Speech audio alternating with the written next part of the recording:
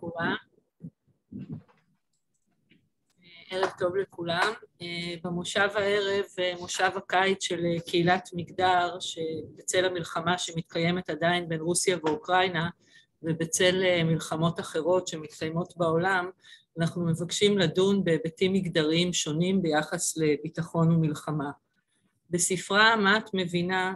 נשים כותבות על מלחמה בספרות העברית", כתבה דוקטור יעל לוי חזן, זיכרונה לברכה, כי בדרך כלל בשדה התרבותי-חברתי ובשיח, כתיבת גברים על מלחמה נחשבת לגיטימית יותר מכתיבתן של נשים, וגם קולם של נשים ביחס למלחמות אינו נתפס ראוי, כי הרי מלחמה אינה נתפסת כעסק של נשים.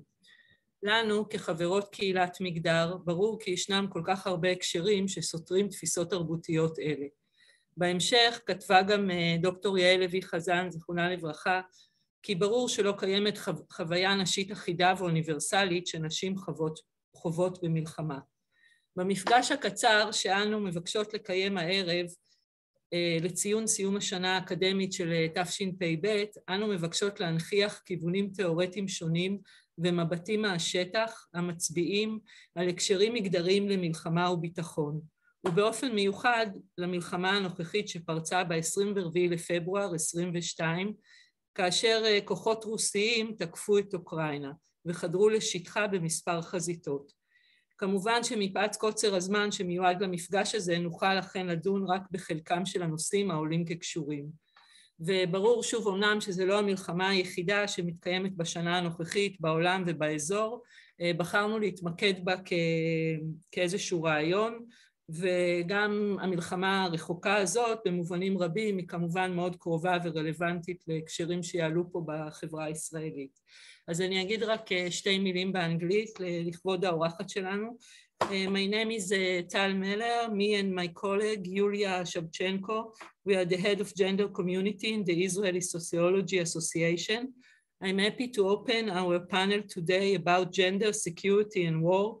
and want to thank all of, the, of our presenters. Because of the mix between uh, English and Hebrew, there will be a simultaneous translation in the chat to the main points, and we hope it will help those in need. Uh, so let's go straight to the first lecture of Professor uh, Ayelet Harel. Um, Ayelet Harel היא פרופסור um, מן המניין בתחום מדעי המדינה, היא מרצה בתוכנית ניהול, לניהול ויישוב סכסוכים ובמחלקה לפוליטיקה וממשל באוניברסיטת בן גוריון בנגב. המחקרים והפרסומים שלה נמצאים בנקודות התפר שבין מדע המדינה, מגדר ולימודי קונפליקט. היא עורכת סדרת מחקרים נרחבת בנושא תיאוריות פמיניסטיות וביקורתיות בלימודי ביטחון, הכוללת מחקר נרטיבי אודות חוויותיהם של חיילים וחיילות בעקבות השירות הצבאי שלהם. וכן סדרת מחקרים נרחבת אודות נשים מקהילות מיעוט. כיועצת הדיקן להוגנות מגדרית היא פועלת לקדם ולסייע לחברות סגל ולחוקרות צעירות ממנה. בין היתר, הראל היא זוכת פרס החוקרת הצעירה המצטיינת מטעם האגודה הבינלאומית ללימודי ישראל לשנת 2018, וכן זוכה בפרס מרצה מעוררת השראה באוניברסיטת בן גוריון ב-21. מחקריה פורסמו בכתבי עת מובילים בתחום ובהוצאות ספרים מובילות. תודה איילת, תודה פרופסור איילת הראל שהצלחת להגיע ולהצטרף אלינו, ובבקשה. תודה רבה. תודה רבה על ההזמנה הזו, אני מאוד מאוד מתרגשת להיות פה, ובאמת טל ויוליה הצלחתם לארגן כאן תוכנית מאוד מאוד מרשימה ומרגשת בעת הזו. אני אנסה לשתף את המסך. Anna, I made some slides in English and Hebrew as well, so uh, you can be able to trace some of it at least. Um, so let's begin. אוקיי. Okay. רואים את המסך שלי? אוקיי. Okay. אז uh, בעצם uh, אני רוצה להתחיל, אני מאוד מאוד מודה על ההזמנה הזו, ואני מודה עליה במיוחד גם מכיוון שאני חדשה בקהילה הזו, בעצם הכנס האחרון היה הכנס הראשון שבו השתתפתי, אני בעוונותיי לא סוציולוגית, אני מגיעה מתחום של מדעי המדינה ויחסים בינלאומיים, וככזו החשיבה שלי היא בראש ובראשונה מגיעה מתוך מושגים שנועדו לברר איפה ממוקמת העוצמה, איפה ממוקמת העוצמה בשדה הפוליטי ובשדה החברתי ואלה התחומים שעליהם כתבתי בעצם ביחד עם שותפות ולחוד. ובעצם כשהתבקשתי להציג את המחקר שלי ברוח הסוגיות העכשוויות של המלחמה בין רוסיה לאוקראינה זה גם מאוד מאוד עזר לי לפתח את המחקר ולחשוב על כיוונים חדשים אז אני באמת מודה לכם על זה. אז בואו נתחיל. כשאנחנו בעצם אה, מסתכלות מתחום הידע של מדעי המדינה ויחסים בינלאומיים על הסוגיות המגדריות אנחנו בעצם אה, כחוקרות וחוקרים בתחום הזה נלחמים אל מול איזשהו מיינסטרים ברור אה, שמתייחס במידה רבה לסוגיות של ביטחון לאומי ברמה הכי קונבנציונלית של המונח. ביטחון שהוא קשור לטילים, להפגזות, ל, אה, לשמור על הגבולות, אה, ביטחון מודדים את ה... אם תרצו נשק וכמות של אמל"ח וכולי וכולי וסיבות למלחמות ויש ספרות מאוד ענפה, הספרות הפמיניסטית בתיאוריות ליחסים בינלאומיים ולימודי ביטחון, שבעצם התחילה לערער את השדות הללו, אה, וזה וכאן מאוד מאוד מתחבר לנושאים שהקהילה של סוציולוגיה ומגדר אה, עוסקים בה בעצם. ביטחון של מי? איזה סוג של ביטחון?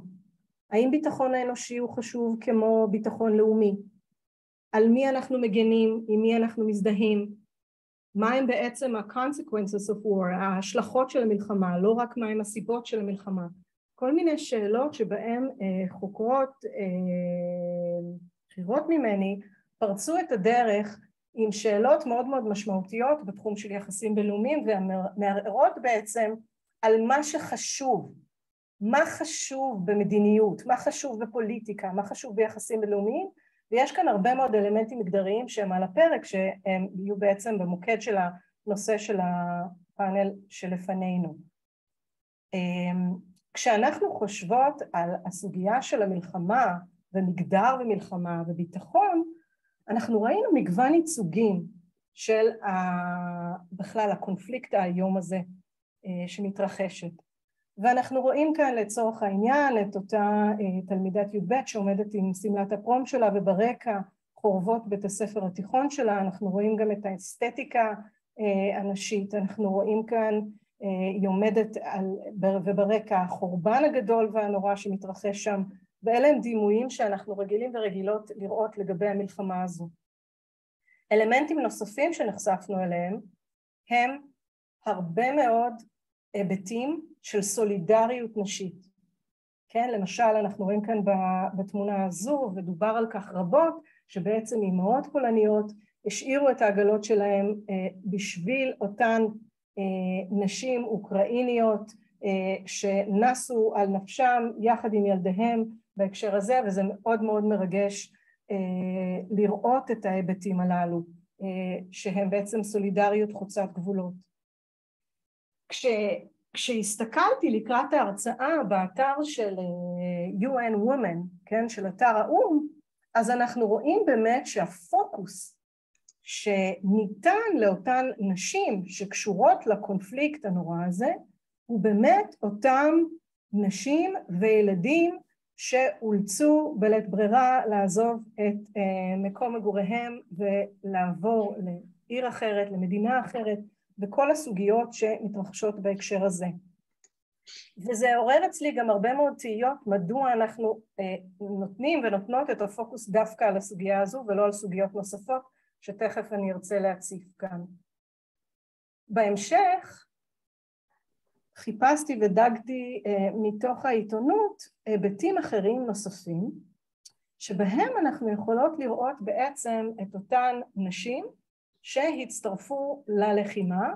כאן אנחנו רואים לצורך העניין את אותה רקדנית, בעצם הבלרינה הראשית בתיאטרון בקייב, שהבן זוג שלה נהרג בקרב לפני שלוש שנים והיא יצאה על מנת להגן על מדינתה כחיילת לוחמת זהו לא המקצוע השגרתי שלה, היא לא הייתה בצבא עד אז, אבל היא גייסה את עצמה לשירות המדינה בהקשר הזה. היבטים נוספים שכמובן עניינו אותי מתוקף המחקר שלי הם באמת הסוגיה של נשים בצבא האוקראיני. ואנחנו שומעים על זה פחות.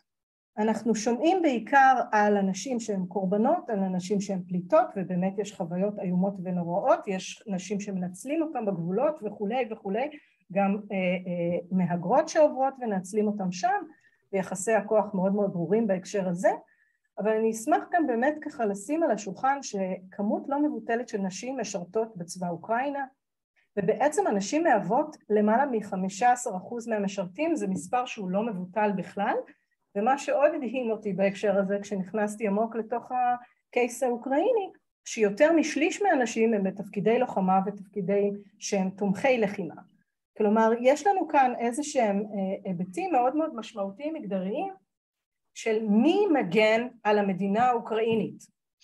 מי יוצא ומי יוצאת להגן על המדינה? מי הכוח שנשאר? Uh, כמובן וכמובן שאנחנו כולנו ראינו את הסוגיה שבעצם גברים בין אם רצו ובין אם לאו הם גויסו לצבא. הם לא יכלו לצאת את גבולות המדינה. הם נתפסים ככאלה שחייבים ומוכרחים להגן על המדינה בין אם הם רוצים ובין אם לא זה כמובן העלה לי הרבה מאוד שאלות ובדקות uh, הספורות שיש לי עוד אני באמת אני רוצה בעיקר להעלות שאלות ופחות לתת את התשובות כי עדיין אין לי אז רציתי להציף כמה נושאים. הדבר הראשון ש, שקפץ לי לראש שבעצם הוזמנתי לפאנל המדהים הזה, who do we care about? והסוגיה הזאת באמת אה, נקרא בי. לאן מופנית תשומת הלב שלנו כחוקרים וכחוקרות? האם תשומת הלב שלנו מופנית לקטסטרופה בתימן או בסודאן באותה מידה שהיא מופנית לאוקראינה ולמה? מהם הנחות היסוד שלנו כלפי גברים וכלפי נשים במלחמה? איך אנחנו יכולות אולי כחוקרות ביקורתיות לצאת מתוך העמדה הזו הבינארית ששמה בעצם את הנשים כקורבנות ואת הגברים כגיבורים? האם יש אפשרות לערער על הסוגיה הזו? האם אנחנו נחקור גברים שלא מעוניינים לשרת בצבא, את כל אותם גברים שניסו לצאת אה, את הגבול והחזירו אותם בכוח פנימה ושמו עליהם מדים ורובה והוציאו אותם אה, להילחם מול הצבא האדיר הרוסי? האם אנחנו נשים דגש באותה מידה לנשים לוחמות ולנשים הפליטות ולמה? האם אנחנו צריכים בהכרח לקחת צעד בסכסוך בעת המחקר שלנו? וכשאנחנו יודעים שיש פה bad guys נניח ויש bad guys האם אנחנו צריכים לקחת את זה בחשבון כשאנחנו נכנסות ונכנסים לחקור את זה? האם אנחנו יכולים להפריד את עצמנו מהמיקום שלנו במחקר? האם אפשר לשלב אקטיביזם? האם אפשר שלא? איך זה משפיע עלינו בישראל באופן כללי אני חושבת שהלחימה באוקראינה וב... ובאמת העלתה את כל הסוגיה הזו עם האגרסיביות הרוסית הבלתי נתפסת, מה אנחנו חושבות לגבי פציפיזם ולגבי התערבות בינלאומית. המונחים האלה, הרבה מאוד חוקרים וחוקרות ביקורתיים בלימודי ביטחון התחילו להיות מאוד מאוד ציניים כלפיהם בתהליך הזה, זה הביא הרבה מאוד היבטים שהם גם מגדריים והם גם כלליים. וכמובן שאלתי את עצמי איך הסכסוך הזה קשור למחקר על ביטחון, מגדר ומלחמה בישראל, אה, ומה אנחנו יכולים אה, ויכולות אה, ללמוד מהמקרים אחד כלפי השני.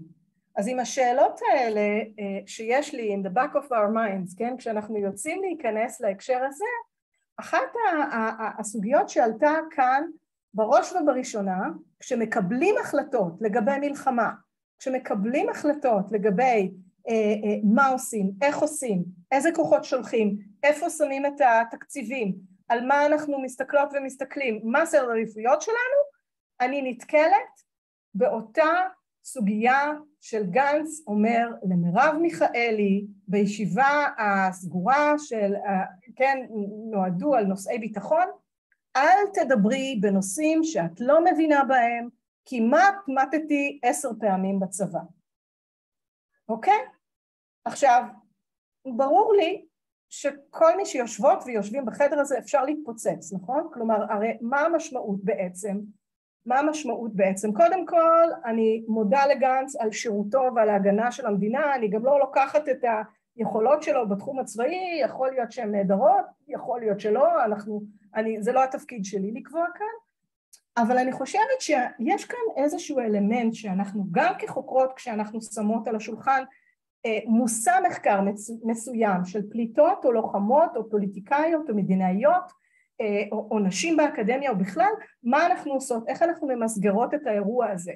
וכאן גם במקום שבו אישה חזקה, חכמה, משכילה, אה, מנסה להביע את דעתה בתחום מסוים בישיבה סגורה הרבה מאוד פעמים ואני בטוחה שחלק גדול ממי שיושבת כאן קרא לה לא פעם ולא פעמיים שאמרו לה, טוב, את, אה, זה, תני לנו לארגן ותני לנו להחליט, גם אם זה לא נושאים שהם פרסה, זאת אומרת, ו, וגם אם זו מלחמה, לנשים יש מה לומר.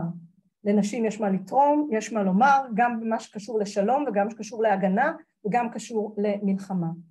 והנושא הזה ככה מאוד מאוד אה, משמעותי כשאני מסתכלת על החוויות שראיינתי אה, נשים רבות אה, שסיימו את השירות הצבאי שלהם, ובאמת אני חושבת שאפשר ללמוד כמה היבטים מאוד מאוד משמעותיים גם על הסוגיה של הגנה וגם על הסוגיה של אה, אה, ביטחון ואייג'נסי של נשים, סוכנות פעילה של נשים, בעקבות ההתבוננות על נשים באזורי קרב. אז אני באמת בהקשר כזה אני רוצה להעלות עוד היבטים אה, מההקשר הישראלי ואני משוכנעת שזה רלוונטי גם לרמה העולמית. אה, אנחנו מכירים מצב שבו אה, בתקופתו של כוכבי, בוא נגיד בזמן שהכתבה הזו פורסמה, לא קודמו אלופות, קודמה רק תת אלוף אחת, מאז שהכתבה קודמה, פורסמה קודמו כי הוא קיבל קצת ביקורת, אבל באמת הוא, הוא לא קידם נשים.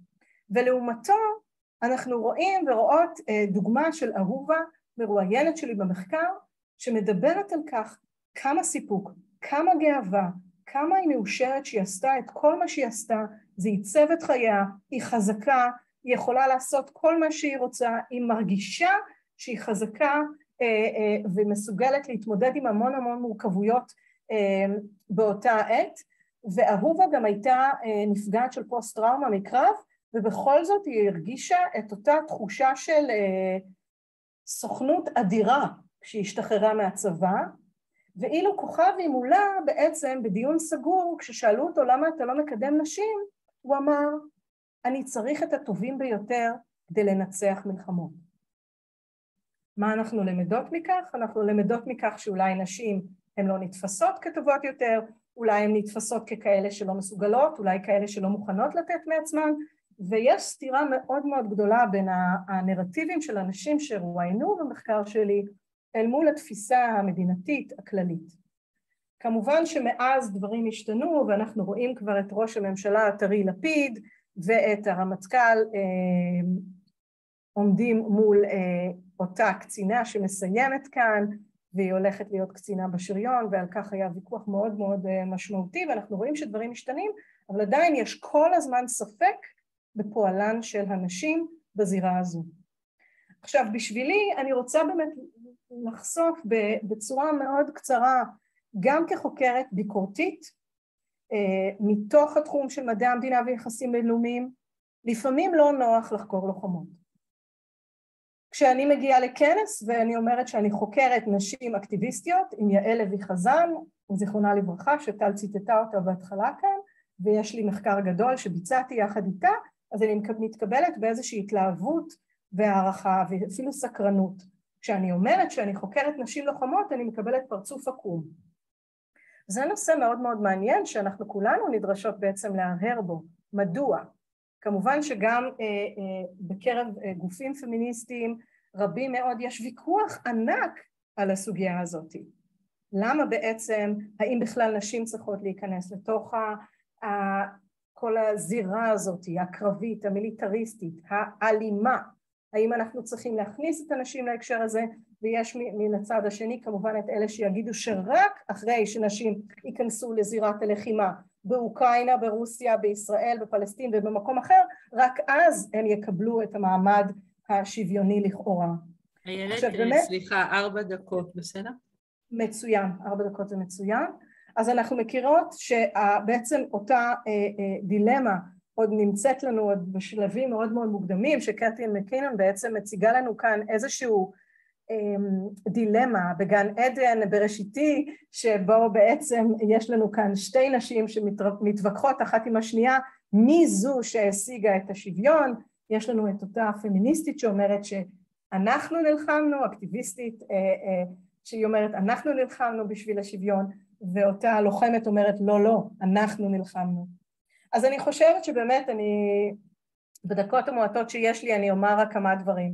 אני חושבת שהעיסוק בחוויות של לוחמות בהקשר של מגדר ומלחמה יכול לסייע לנו להתבונן על ביטחון וחוסר ביטחון בצורה א-בינארית, להכניס גם את הלוחמות לצד הפליטות ולצד את אותם קורבנות. אני חושבת שהנושא של חשיפת הסטריאוטיפים בחקר הטראומה מקרב וטראומה מהתעללות מינית, פיזית או נפשית הוא מאוד משמעותי. צריך לדבר גם על טראומה מקרב של נשים, וצריך לדבר גם על טראומה מאותן פגיעות כמובן, וזה לצד זה. אני חושבת שזה יכול לעזור לנו להתעמק בדימויים מגדריים, דיונים על הבניית זהות מגדרית של הכניסה לתפקידים הגבריים לכאורה, ולסייע לנו לאתגר את הסוגיה של הגנה וביטחון בהקשר של מגדר. זה מאפשר לנו גם לחשוב על סוכנות פעילה בקרב נשים, מה ההשתתפות במלחמה עושה לנשים, לטוב, לרע, באיזה היבטים, מהם הצבעים והגוונים שאנחנו יכולות uh, לתרגם בהקשר הזה. חשוב גם לזהות אלימות ותוקפנות בקרב נשים, זה חלק מהמשחק. אני באמת לסיכום אציג בפניכם כמה נרטיבים דווקא של נשים ישראליות ואני חושבת שההקשר של נשים שנמצאות בקרב הוא לא מוזכר מספיק, הוא לא מדובר מספיק, ויש לנו את זה עכשיו בשדה האוקראיני שאני uh, מתכוונת להיכנס אליו uh, בקרוב באמצעות uh, שותפה, ואני רוצה באמת לשתף עם דוגמה מההקשר הישראלי, שהיא מדברת על כך שאם גבר נכשל, אף אחד לא יגיד גברים לא מתאימים להיות לחומים. אבל אם אישה נכשלת, אז טוב, אז כל הנשים לא מתאימות. ויש הרבה מאוד תפיסות שצריך להילחם בהן בהקשר הזה, וכמה שהתפיסה של להיות לוחמת סייע לה. עוד היבטים בהקשר הזה הם קשורים לנושא של הגנה. הנושא של נשים זקוקות להגנה של גברים חוזר הלוך וחזור בכל ההיבטים של פוליטיקה, של יחסים בינלאומיים, של מדעי החברה, ואני חושבת שהעיסוק בנשים כמגנות יכול לשבור במידה רבה, או לפחות לאתגר את המונח הזה. אה, יש לנו כאן את יערה שמתארת כיצד היא הגנה גם על העורף, גם על הלוחמים ששירתו יחד איתה. היא מדברת על כך שיש לה כל כך הרבה מורכבויות תוך כדי הלחימה מול עם אחר, מול אויב שהיא לא בטוחה שהוא אויב, אבל עדיין היא מרגישה יכולת מאוד מאוד משמעותית לגבי דברים שהיא עושה. ואני אחתום עם המכתב שנשלח לכוכבי ביום העצמאות האחרון. לוחמת כותבת לו כך: כקצינה ולוחמת באחד מגדודי צה"ל לא יכולתי להאזין בשידור חי לנאום הרמטכ"ל, הייתי בתפקיד. והיא ממשיכה, בעבור רמטכ"ל צה"ל המפקד שלי אין לוחמות, אין טייסות, אין נווטות, אין חובלות, אין שריונריות, אין מכונאיות מוטסות, אין לוחמות מגע וקרקל, אין מפקדות. קווי המגדר של כוכבי לא מכירים אבות שדואגים, שמחכים, או כאלה שליבם קרס בגלל מות בנם או בתם. כוכבי לא מכיר את דוד שלי שבנו נהרג והוא מת משברון לב. כמו שאנשים הם רק אימהות, כי הוא דיבר על שלוש אימהות שהקריבו את בניהם, גם הגברים של כוכבי הם לא אבות, הם בטח לוחמים. ו... היא מסכמת כך, אני מכבדת את מי שבוחרת להיות אימא, אני מכבדת את האימהות, אימהות האומה ואת האימהות שאיבדו את היקר להם, אבל אני כאן כדי להזכיר שב-2021 נשים הן אינן רק אימהות, הן אימהות אם זה מה שהן בוחרות להיות, אם חזון צה"ל שלך זה להשיב אותנו לדמויות הבוכיות, הטרגיות, המובנות מעליהן, תשכח מזה. במיוחד ביום הזיכרון, אנחנו לא ניתן לך לזרוק עלינו זין. אני חושבת שבאמת בהקשר הזה אנחנו יכולות לחשוב הרבה על החיבור בין הגנה לבין סוכנות, אה, על מחשבות של מה נשים לוחמות יכולות לעשות והדיון של הקונפליקט הקשה הזה והמשבר האדיר שיש כרגע באוקראינה אה, וכיצד רעיונות אישיים עם לוחמות אוקראיניות ותפיסת הסוכנות שלהם יכול להאיר נקודות נוספות לגבי הקונפליקט. תודה רבה. תודה, איילת. אז אה, נעבור אה, ליוליה שתציג את הדוברות הבאות ונשאיר, יש זמן לשאלות בסוף, בסדר? תודה. תודה רבה איילת על ההרצאה המרתקת הזו. אני אציג את אנה באנגלית. So our next panelist is Anna Tiomkina. Uh, Anna received her PhD in social sciences from the University of Helsinki in 1997. She is chair in public health and gender. She is the co-director of the gender program at the European University at St. Petersburg, Department of Sociology. She delivered a course together with Associate Professor Julia Lerner in Ben Gurion University of the Negev during 2021. Her interest in gender studies and feminism began in the 1990s. Now, her area of expertise includes gender, reproductive health, feminist theory, and gender re relations. Recently, she also uh, began studying sexuality and aging in Soviet and post-Soviet societies. Her recent project on aging and sexuality is implemented in collaboration with BG, uh, Ben Gurion University, specifically with Professor Maya Lavia Jai. She is the author of Women's Sexual Life Between Freedom and Subordination, and also of Russian, Russia in Transition. She's the co-author of 12 lectures in gender sociology and also a, a, of pregnancy and childbirth in Russia, struggling for the good care which will soon to be published uh, in Routledge uh, Press. So Anna, please, the floor is yours. Thank you so much. You're on mute. Yes, thanks a lot. I will check uh, my presentation. I hope it will work. Oh, no. Uh, could you see it now? No, Anna, we see your um, computer screen, but not your presentation. Okay, I will try otherwise.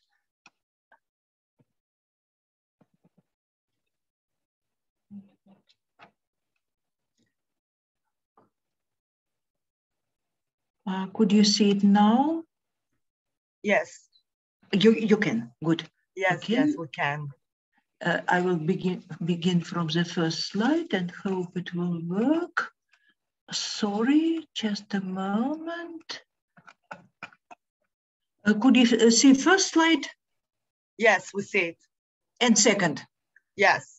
Okay, good. I will do it in this format to be more safe with all these digitals. Um, there is not so much to see. Okay, so thank you so much. Uh, I'm very proud uh, to present some part of uh, my um, my research and uh, collaborative research and so on. And uh, I I'm very happy to uh, have such opportunity and uh, thank you so much for the invitation. This is really very important uh, for me and also with my standpoint uh, uh, in combination of some Israeli and, and Russian uh, work as well. And so after three months in Israel, I've come to Russia and I'm here for one month right now. And so when I return back, one of my uh, main very strange impressions from Russia, from St. Petersburg, and from Moscow also was that in Russia, there are no symptoms of war in society. And uh, when it is uh, so, uh, so terrible events happens um, in Ukraine, on the border on Ukraine, not a lot of symptom in Russia.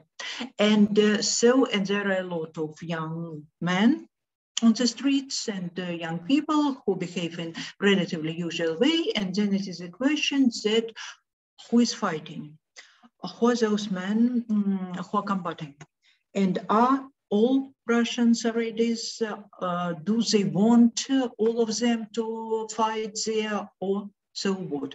Of course, I don't have an answer on this question, but at least I will try to raise it. And uh, so I would like to discuss uh, Soviet, shortly of course, Soviet and post-Soviet masculinities, crisis, violence, and war, and I would like to begin, uh, this is a plan of my presentation, uh, because I, I would like uh, to describe some structural conditions of, uh, of uh, construction of different types of masculinity in uh, Russia very shortly, but I would like to begin with well-known, of course, I know, I think that you know all what Boris Johnson told relatively recently about Putin and about gendered governing of Russia. And there is a quotation or some piece of this quotation uh, that uh, Putin uh, would not have invaded Ukraine if there were a woman. Uh, they uh, said that crazy macho invasion was a perfect example of toxic masculinity, and he called for more women in position of power. I will skip women here. I will concentrate on this crazy macho invasion and especially toxic masculinity. Uh, so uh, a few words about toxic masculinity.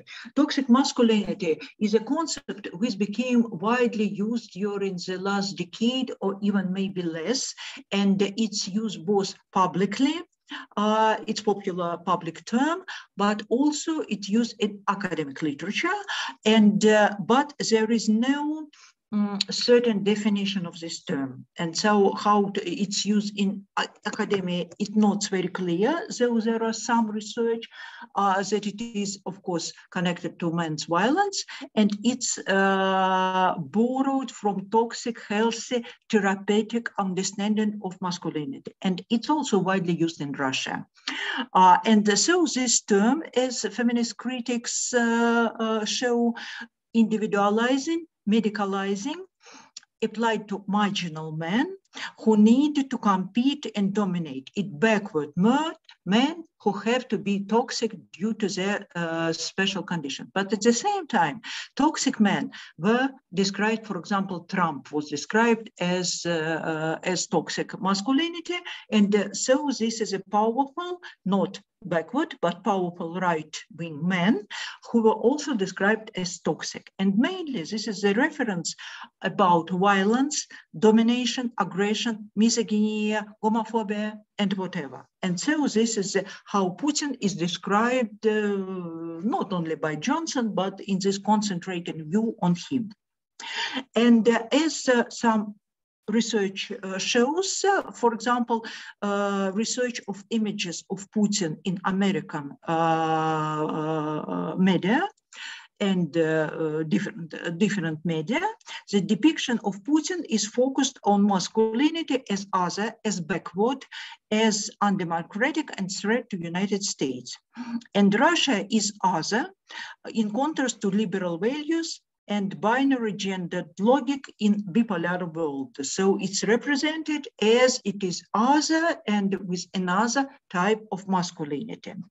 And so this word toxic masculinity is in a sense a subset of hegemonic masculinity, which is very widely used uh, in gender studies and in study of masculinity. And I still want to stress this structural uh, dimension of hegemonic masculinity, uh, which no, even if it's described in a term of toxic. And so then, uh, uh, toxic masculinity uh, of Putin I think that it should be uh, placed in contextually complicated gender order and nationalism in Russia.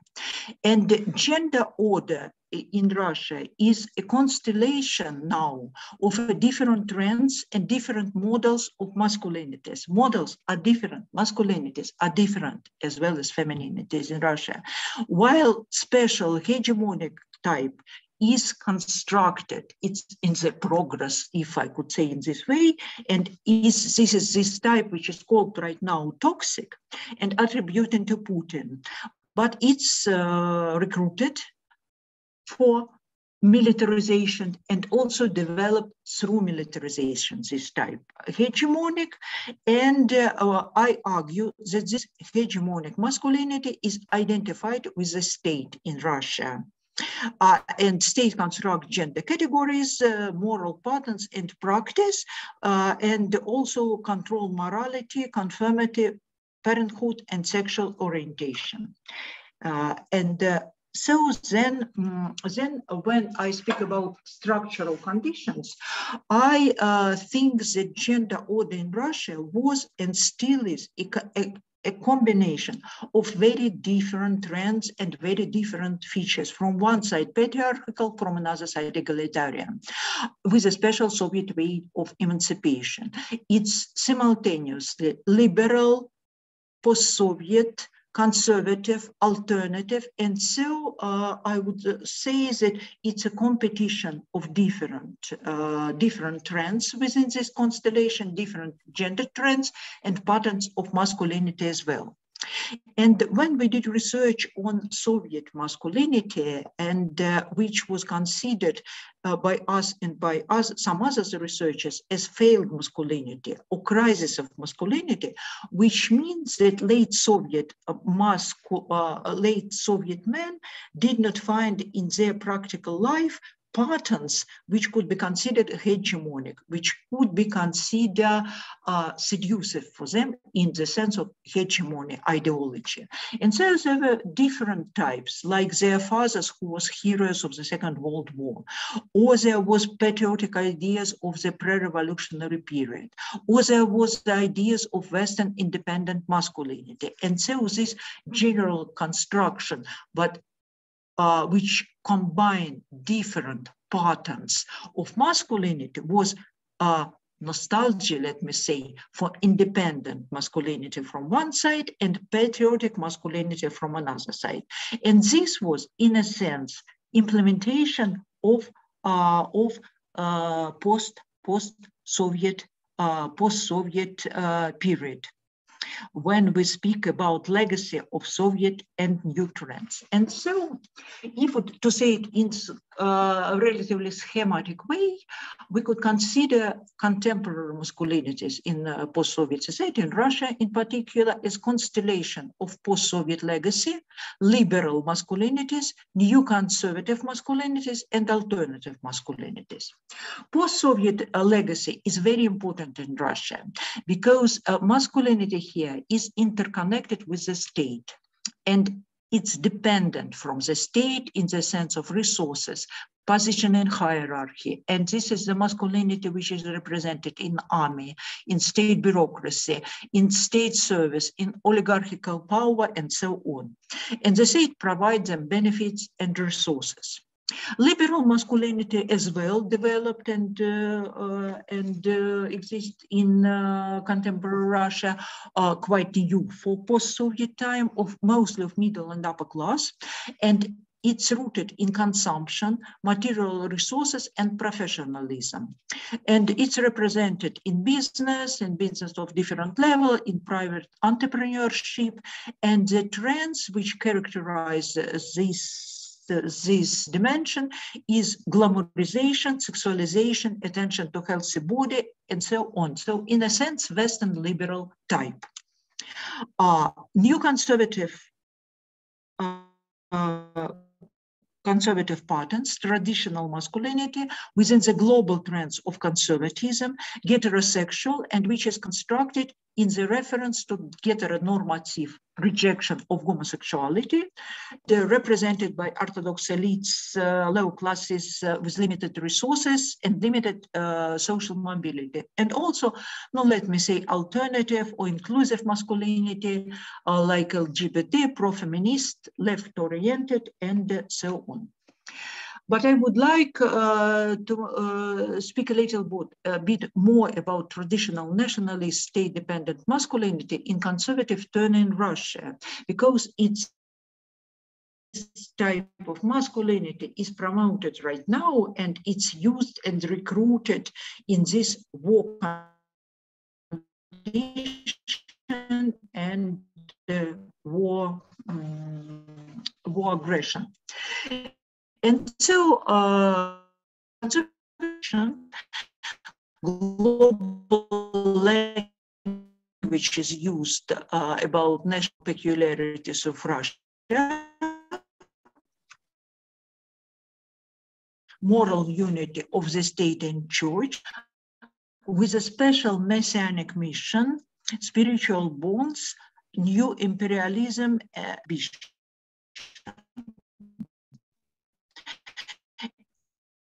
and the promotion of special rights as opposed to Western, as opposed to Western democracy and its opposing gender traditionalism as an ideal to the which is not gender tolerance is degraded. And uh,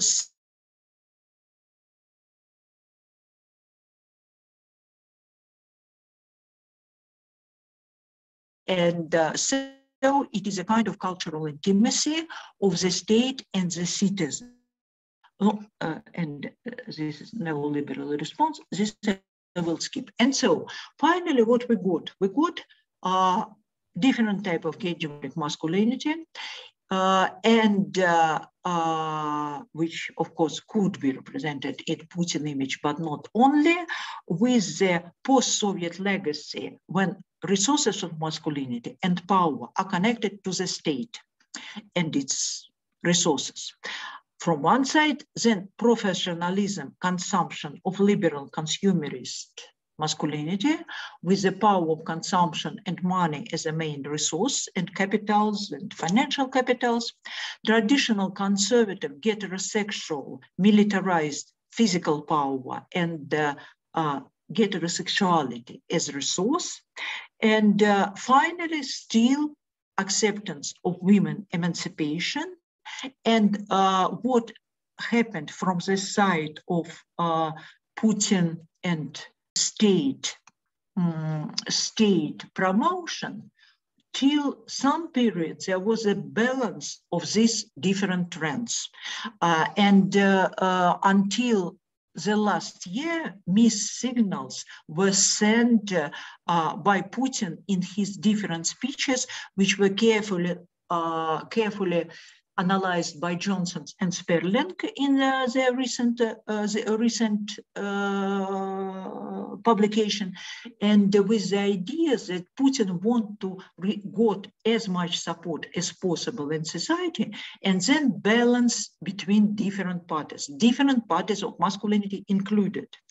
Uh, and uh, so uh, there was no explicit traditionalism in his speeches, but there was like some kind of mixture of different dimensions, which I already spoken about. But now there is a shift to militant mobilization. It's not now, just now, just this last three months. It was going for last decade, but right now it's the most obvious that this has happened with the resentment uh, revenge for USSR Great Empire and the violent masculinity, what is called toxic, uh, is now uh, is now pretend to be the only one hegemonic type of the of masculinity in the society. So last decade, from stability to militant popular mobilization, neo-imperialist ambition, remasculinization of Russia, as opposed to demasculinized uh, West and Western democracy and Ukraine as well.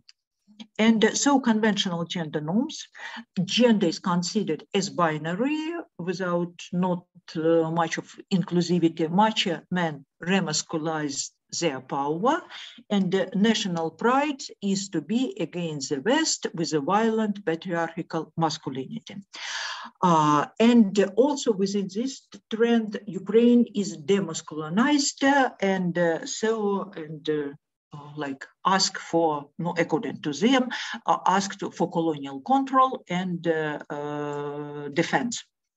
And so, uh, as Kundakov uh, summarized it, uh, Putinism is based on revanchism, on an image of strong, powerful men with outdated ideas about relationship between people, including gender relationships. In that model, you can act uh, violently, you can achieve your goal uh, by forcing people to do something.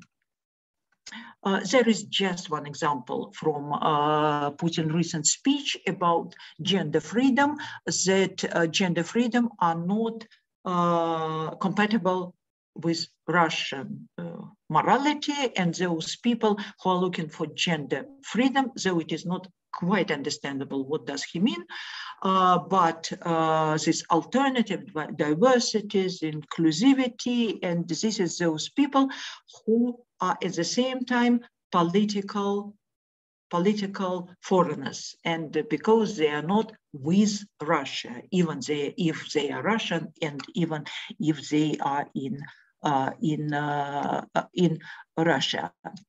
Uh, and so, uh, and this is uh, no, just, just I'm moving to my conclusion.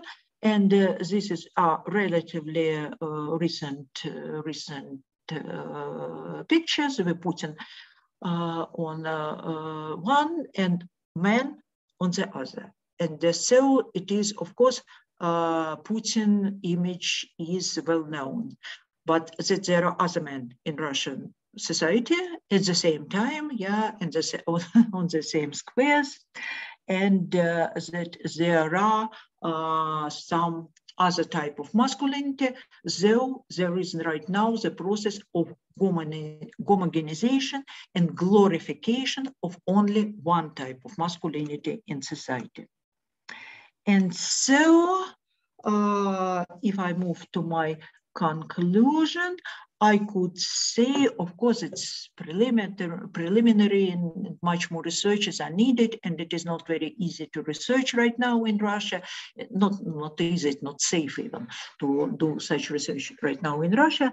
But uh, militarization and war is rhetorical and practical homogenization of gender constellation and uh, different coexistent patterns of masculinity, they still exist in Russia, but uh, there is considered that this get uh, hegemonic, toxic, uh, military, aggressive, violent West masculinity should be the only one uh, legitimate moral type in today Russia, but it is not.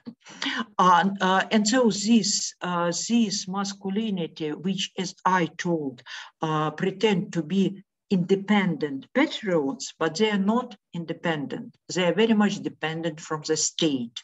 And so they want to be independent as a state as a whole, not as personality, but as a state, as a national community as a nation state independent from the West, uh, with the dominance of conservative patriotic militarized masculinity, state sovereignty, paternalism, patriotism as the basis of this hegemonic construction, independent from the West, uh, traditional values pretend to be the basis of national masculine identity of real ideal citizen against the others, protection of Russian state and nation is masculinized in the global arena.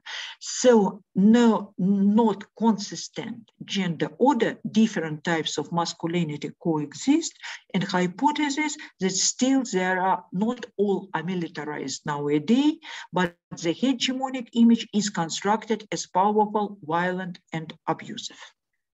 Anna, so, what, yeah. we have one more minute, okay? Yes.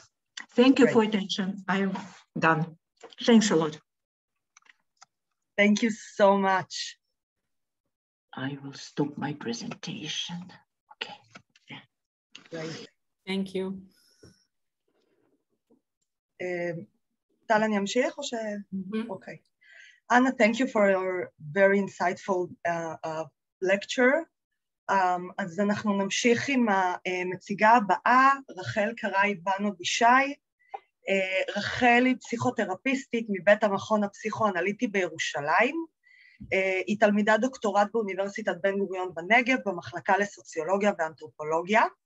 בעבודה שלה הנוכחית היא חוקרת את חוויותיהן של מטפלות דוברות רוסית בישראל, היא מונחית של פרופסור יוליה מירסקי ודוקטור יוליה לרנר.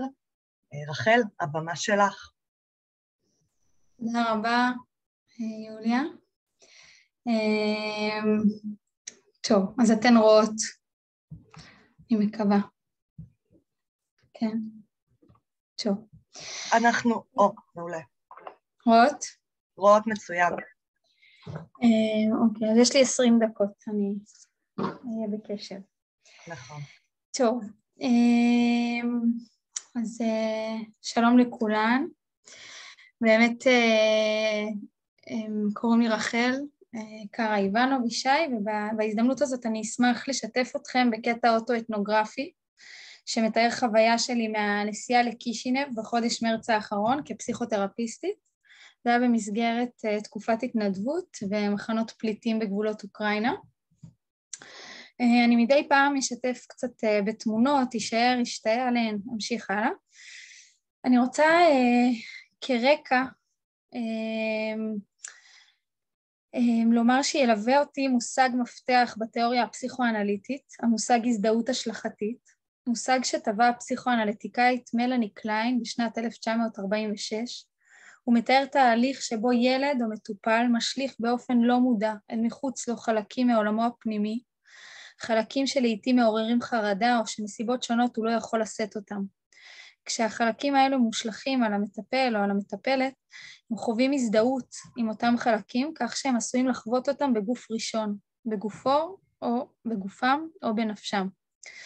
מעבר למשמעות ההגנתית שבתהליך ההזדהות ההשלכתית, ביון וממשיכיו ראו בו גם דרך תקשורת, שבה המטפל הופך לחלק מן החוויה של המטופל. מבין, חווה, חי בעצמו את אותן תחושות וחוויות בלתי נסבלות. כך הוא יכול להבין באופן עמוק את חווייתו של המטופל ולשאת אותן יחד איתו. כחלק ממעורבות מקצועית בגבולות אוקראינה, אני אתייחס להזדהות ההשלכתית גם כתהליך קולקטיבי חברתי שמתרחש מחוץ לגבולות הקליניקה.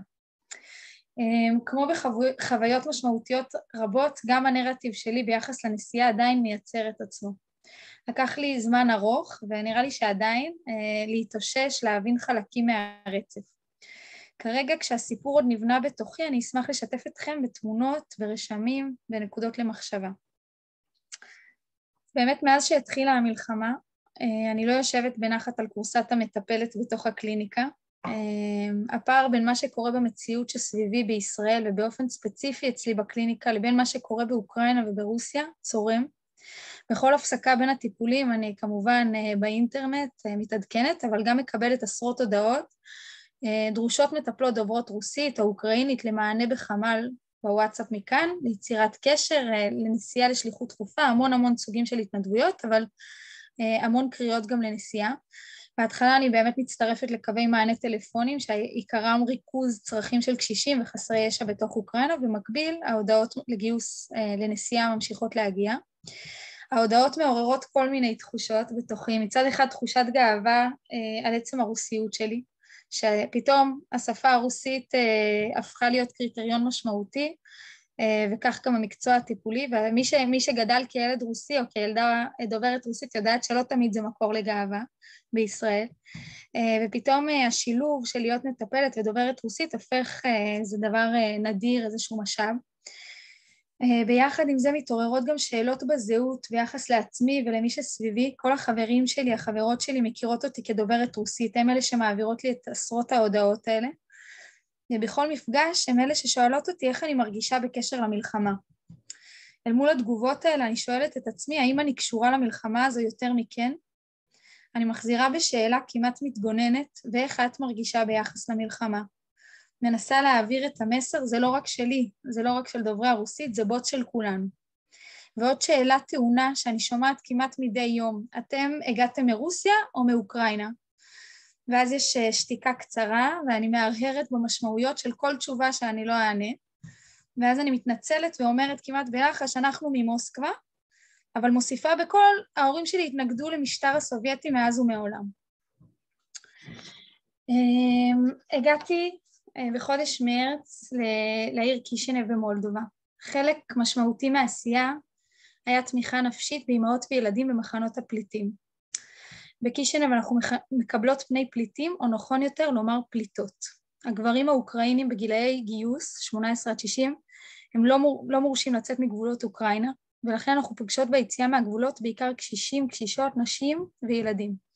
מחנות הפליטים הם אולמות ספורט שהוסבו ללינת הפליטות, אולמות מלאים במזרונים עם מצעים וכריות, מקרר משותף עם אה, חמגשיות. לאולמות הללו נכנסות האימהות וילדיהן, כולן בדממה מוחלטת. אין בכיות, אין צהלות, זה שקט שמוכר מביקורים בבית האבל, שקט שמספר את האובדן.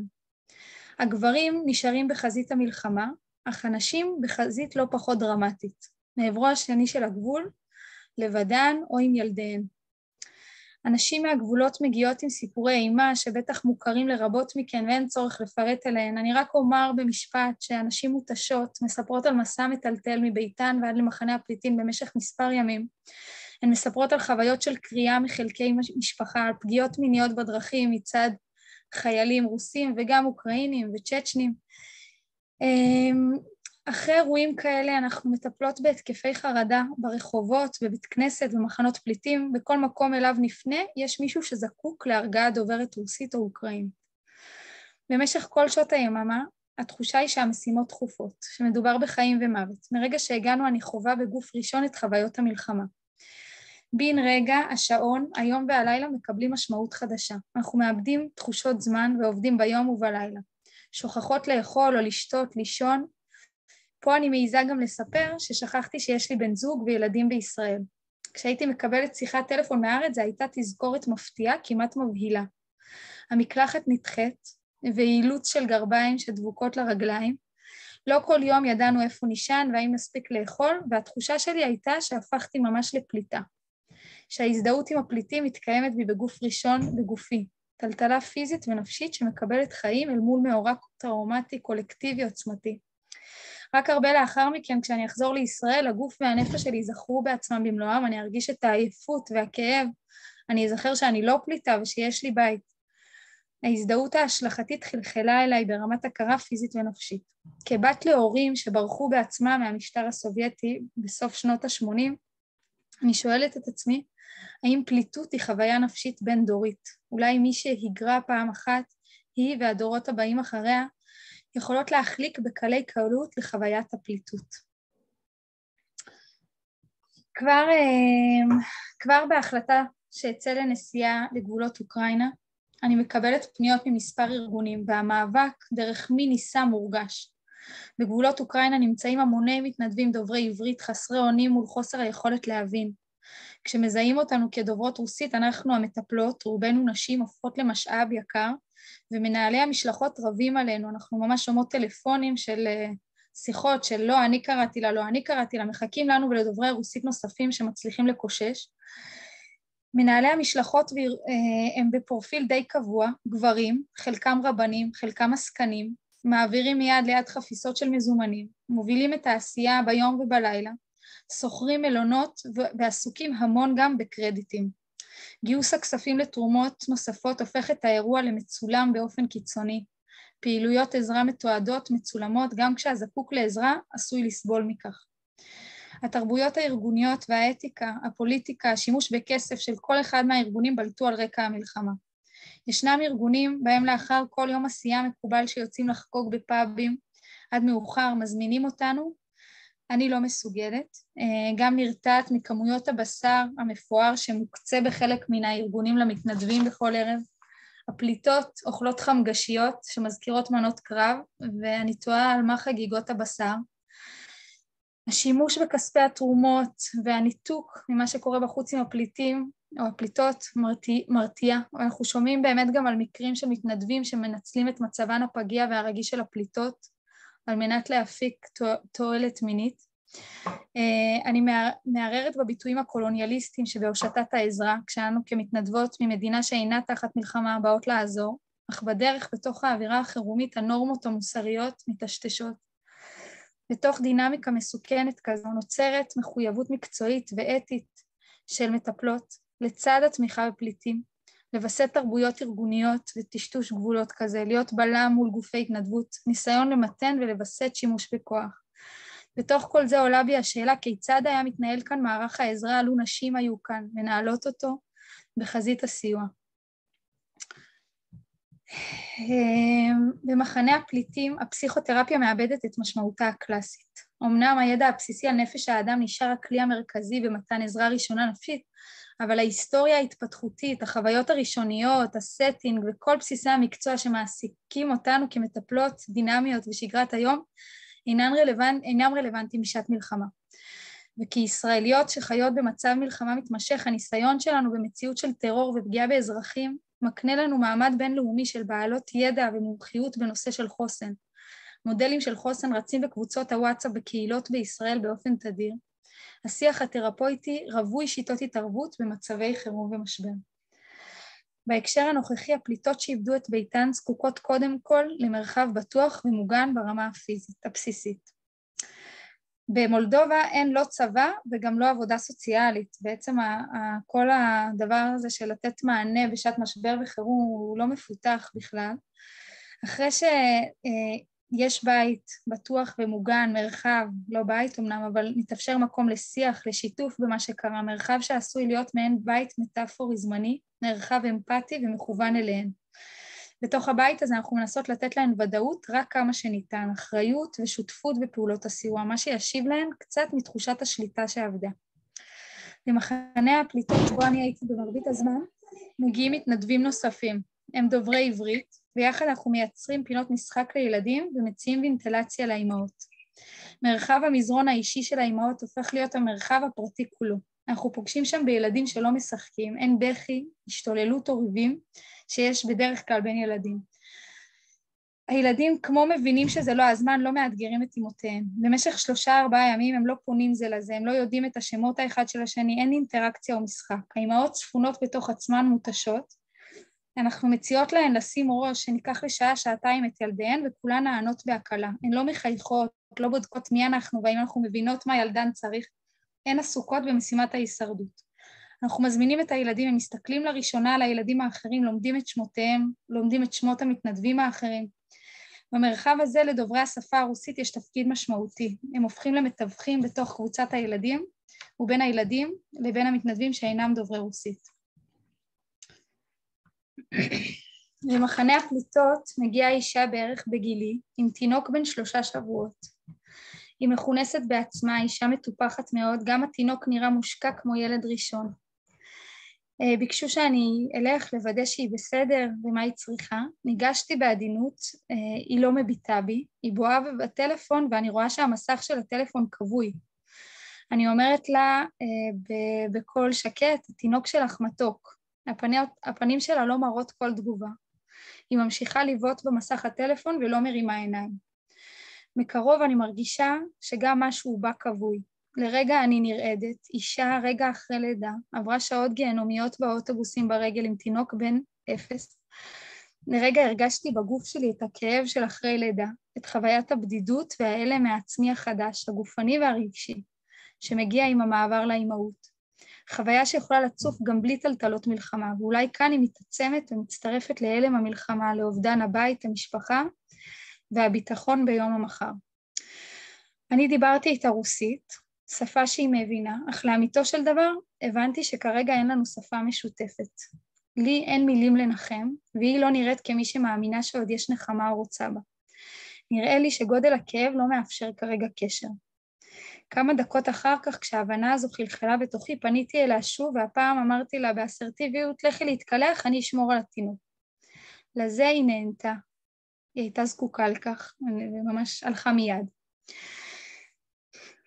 הטיסה חזרה הביאה איתה את שיא המסע שלי. בפתח שדה התעופה בקישינב מופיעה אישה כבת 85 לבדה. שדה התעופה סגור, הוא נפתח רק לצורך טיסת החילוץ ואין כוח עזר סיעודי. היא מבקשת עזרה ודוברי העברית שבסביבתה צועקים מי כאן דובר רוסית כי לא מבינים מה היא אומרת. אני מגיעה והיא מסבירה שהיא לא יכולה יותר להישען על ההליכון, שהיא חייבת כיסא גלגלים. למצוא כיסא גלגלים בשדה תעופה סגור הייתה משימה מורכבת שארכה זמן רב, ואחרי שנמצא אני מבינה שאין מי שיסיע את הכיסא, היא הגיעה לבדה עם שני כלובי חתולים. היא אומרת שהיא מרגישה שהיא הולכת להתעלף, היא מזיעה ורועדת, היא מבקשת בדיקה לסכרת. הלב שלה דופק מהר והיא מרגישה שתכף היא תאבד את ההכרה. כל הסימנים שהיא מספרת עליהם מוכרים לי היטב כסימנים של התקף חרדה. בכל זאת אנחנו קוראות לרופא ששולל סכנה פיזית. בתוך הניסיונות להקל עליה, אני מציעה שהלחץ הגדול שהיא חווה משפיע על התחושות הפיזיות שלה כרגע. אני מספרת לה שזה קורה הרבה ושגם לי זה קורה לפעמים, שזו תגובה נורמלית למצב הלא נורמלי שבו אנחנו נמצאות. אני מזכירה לה שהיא לא תרגיש ככה תמיד, היא מסכימה לזה, להצעה הזאת, וככל שהדקות עוברות היא מעט נרגעת. היא מספרת שברחה מקייב עם שני חתוליה ושנוסעת לישראל אל הבת שלה שנמצאת שם בשנים האחרונות ועובדת שם כמט"בית עם קשישה. היא אומרת שאם היא הייתה יודעת כמה המסע יהיה קשה, היא לא הייתה יוצאת לדרך. הסיפור שלה מקוטע, מלא שברי תמונות וזיכרונות. בסוף השיחה היא משביעה אותי שאני לא אעזוב אותה עד שנפגוש בישראל את החתן שלה שאמור להגיע לקחת אותה. אני מבטיחה לה בלב שלם, אך בלי לדעת מה החבילה כוללת. תוך עשר דקות אני מוצאת את עצמי מחליפה טיטול הראשונה בחיי שלא לתינוק. אישה מלאה יחסית שנשענת עליי, אני מסייעת לה במעברים מכיסא הגלגלים לשירותים בכל חצי שעה. בשעות האלה אני מוצאת בתוכי כוח שלא ידעתי שקיים. אנחנו מחפשות בשדה התעופה טיטול למבוגרים, אבל אין בנמצא. באחת הפעמים לא הספקנו לשירותים. אני שם איתה מפתיעה את עצמי ולא מרגישה רתיעה או כאב, שכמובן יגיעו מאוחר יותר. באותם רגעים זה מרגיש כמו חלק מובן מאליו מהסיפור שלי, כמו קרובת משפחה. אחרי הנחיתה אני והיא בריצות למשרד הקליטה, לבדיקות הקורונה, כמה שעות ממושכות ותהליך כמעט בלתי אפשרי עבור אישה במצב סיעודי. היא בהתקפי חרדה שבאים והולכים, אנחנו נושמות ביחד. לאחר כשעתיים של המתנה נוספת, החתן שלה מגיע ואנחנו נפרדות בחיבוק. גבולות הפסיכותרפיה וגבולות השפה מתערערות במפגש על רקע המלחמה. נוצרת לה שפה אחרת, הפעם בין נשים. כשמתקיימת ביניהן הבנה כשיש משהו משותף בהבנה של רגעי הישרדות פיזית ונפשית, השפה, המקצוע, סוגי ההתערבות המוכר, המוכרות מקבלות כאן משמעויות חדשות על רקע המלחמה. ברגע שיצאתי משערי נתב"ג אני מתאמצת לפלס דרך גל המוני של בנות אולפנה שפוגשות את, הפליט... את הפליטות בריקודים ובשירי טוב להודות לשם, עם ישראל חי ושבו בנים לגבולם, בהמוני ממתקים. חלק מהפליטות לא מראות צל של חיוך או שמחה. הן לא מדברות עברית, אבל אני מבינה שהן בעיקר לא מדברות כרגע גם את שפת הלאומיות. הן כעת בשפת ההלם. אני נמצאת שם ותוהה מי שמח בסיטואציה הזאת. מחפשת את דרכי לרכב, הולכת חצי דקה על המדרכה מחוץ להמון ופתאום מרגישה את הרגליים שלי רועדות. היד שלי לא מצליחה לסחוב את המזוודה. אני מנסה ומרגישה שלא נשארו לי כוחות. רק הרגע סחבתי משקל כפול ויותר, כיסא גלגלים ושני כלובי חתולים, אבל עכשיו, כשהמשימה נגמרה, לא יכולתי עוד. אני לא מצליחה להחזיק את המזוודה למרות המאמצים. התיישבתי על המדרכה והכאב הגיע. הבכי והתחושה שאני חסרת בית, מרגישה ששכחתי מי אני, מאיפה באתי ולאן אני הולכת. כמה כוחות יש לי ומה הגבולות של כוחותיי. בבת אחת חוויתי את כל הכאבים בגוף ובלב. עכשיו אני הייתי זקוקה למישהו שיאסוף אותי. כמה שבועות אחרי שחזרתי, הגוף עדיין כאב לי. שיקמתי את עצמי ברמת השתייה, האכילה, השינה, ניסיתי לדבר את מה שהיה, את הפחד, את הכאב במפגש עם האימהות והילדים, את חוסר ההקשר שלי. לפעמים היה נדמה לי שהפכתי להיות מעין גוף דובר רוסית. טכניקות העזרה חקוקות בי בכל מיני מצבים, אבל זה היה רק חלק מהאני שלי. משהו מהכרוניקה של הקטיעה הטראומטית נחווה אצלי בגוף ראשון. אני תהיתי איך לחזור לשגרה שכאן, כשהלב קרא לי לחזור לשם שוב. אה, תקופה ארוכה לאחר מכן עדיין קיבלתי כל יום הודעות ובקשות להגיע רק לשבוע, רק לשבועיים, למחנות פליטים, לבתי יתומים. כל הודעה כזו עם בקשה מהדהדת את הפער של בין כאן לשם. כמה קל לשכוח כאן ששם מלחמה, וכמה קל לשכוח שם שאני שייכת לכאן. אל, עוד שתי דקות, בסדר? אוקיי, מעולה. במקביל לתקופת הנסיעה שלי אני מראיינת למחקר מטפלות דוברות רוסית. חלקן היו מעורבות בגבולות אוקראינה או בתמיכה מרחוק. הן מספרות לי במהלך הראיונות על חוויות מקצועיות בתוכן, בתוכן שזורות גם חוויות מההגירה שלהן, בדומה לחוויה שלי. גם אצלן אירוע כמו המלחמה מציף מחדש את אירועי ההגירה שלהן, את שאלות הזהות, מי אני יותר או ממי, ממה אני מורכבת, רוסיה, אוקראינה, ישראל, הן לא רק שלוש מדינות, אלא מכלול שלם של זהויות רוויות בתרבות, צבעים, נוסטלגיה, זיכרונות, חוויות. נרקם כאן על רקע המלחמה דיאלוג מחודש עם אותן זהויות או חוויות הגירה נושנות. למתודולוגיה האוטו-אתנוגרפית ישנם אפקטים תרפויטיים. מחקר אוטו-אתנוגרפי מייצר הבנה יותר טובה של העצמי, של מערכות היחסים עם האחר ועם חלקים שונים בתוכי. מצד שני הוא גם מאפשר ערעור על המובן מאליו, תוך אפשרות לשינוי מחשבתי או רגשי, הוא מאפשר הזדהות עם חוויה שהיא אישית, אבל בו זמנית גם משותפת. עבורי עצם הכתיבה והשיתוף של השורות האלה, הוא מהווה חלק מתהליך עיבוד שיש בו גם ריפוי אה, וגם למידה, מפגש מחודש ומזוויות חדשות עם ההתמקמות שלי האישית, החברתית, התרבותית, בתוכה היבטים מגדריים, אה, כאישה שם במפגש עם נשים, וגם בתוך בחינה ביקורתית של מקצוע הפסיכותרפיה, מפגש עם חוויית פליטות קדומה שצפה ומשתחזרת בתהליכי הזדהות השלכתית אל מול מאורע קולקטיבי אה, עוצמתי, ואני מודה לכן על ההזדמנות לאבד את החוויות האלה פעם נוספת כאן איתכן. אה, אני כן אראה קצת, חצי דקה שנשארה, אני רציתי להראות קצת תמונות באמת של מחנות הפליטים אה, והמתנדבים עם הילדים, באמת פינות משחק בתוך מלונות. אמ, זהו, תודה רבה. אמ, תודה רבה לכם על ההקשבה. אמ, תודה רחל. אה, זה, זה כאילו הרצאה שגם אנחנו צריכות, אה, צריכים אה, רגע... להקל. להקל ולשום. כן, אמ, אז אנחנו נעבור אה, לעוד אה, מבט מהשטח. אה, our last lecture is נטלי ברוך. נטלי פוסט-דוקטורנטית בבן גוריון. Her research focuses on gender in political and military conflict area. Uh, she is peace activist, feminist activist, and working with women in poverty and social exclusion. She is the daughter of Iranian-born parents, first generation of higher education. She volunteers as the director of an Israeli humanitarian and aid mission via Topaz NGO in ז'שוב. Uh, uh, uh, נטלי עכשיו נמצאת בפולין והיא תסביר בדיוק את כל זה, ונטלי, בבקשה.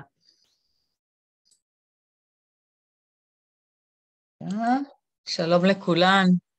תודה על ההרצאה שלך, רחל, כי זה באמת, בהמשך לדברים שאני אגיד, מאוד מרגש. תבורכי, באמת עבודה חשובה, ואני רואה את זה כאן. אה, אה, אז אני נמצאת בפולין, אה, ביום רביעי לפנות בוקר אני חוזרת.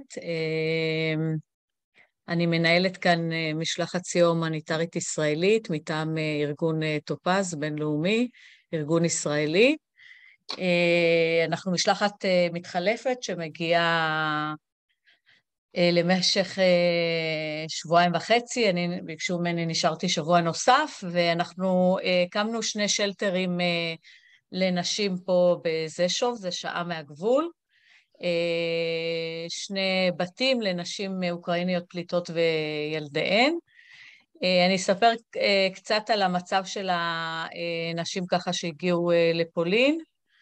אה, שאני מניחה שזה גם במקומות נוספים, אה, ואז אני אדבר אה, על הפעילות שלנו כאן. אז כתבתי לי ככה דברים, רציתי יותר להרצאה, ו... אבל פשוט אין פה הרבה זמן, יש פה כל הזמן מה לעשות, אז אני ככה אדבר מהשטח באמת. לאורך המלחמה בין רוסיה לאוקראינה עברו לפולין כמעט ארבעה מיליון, רובן נערות, נשים עם ילדים קטנים.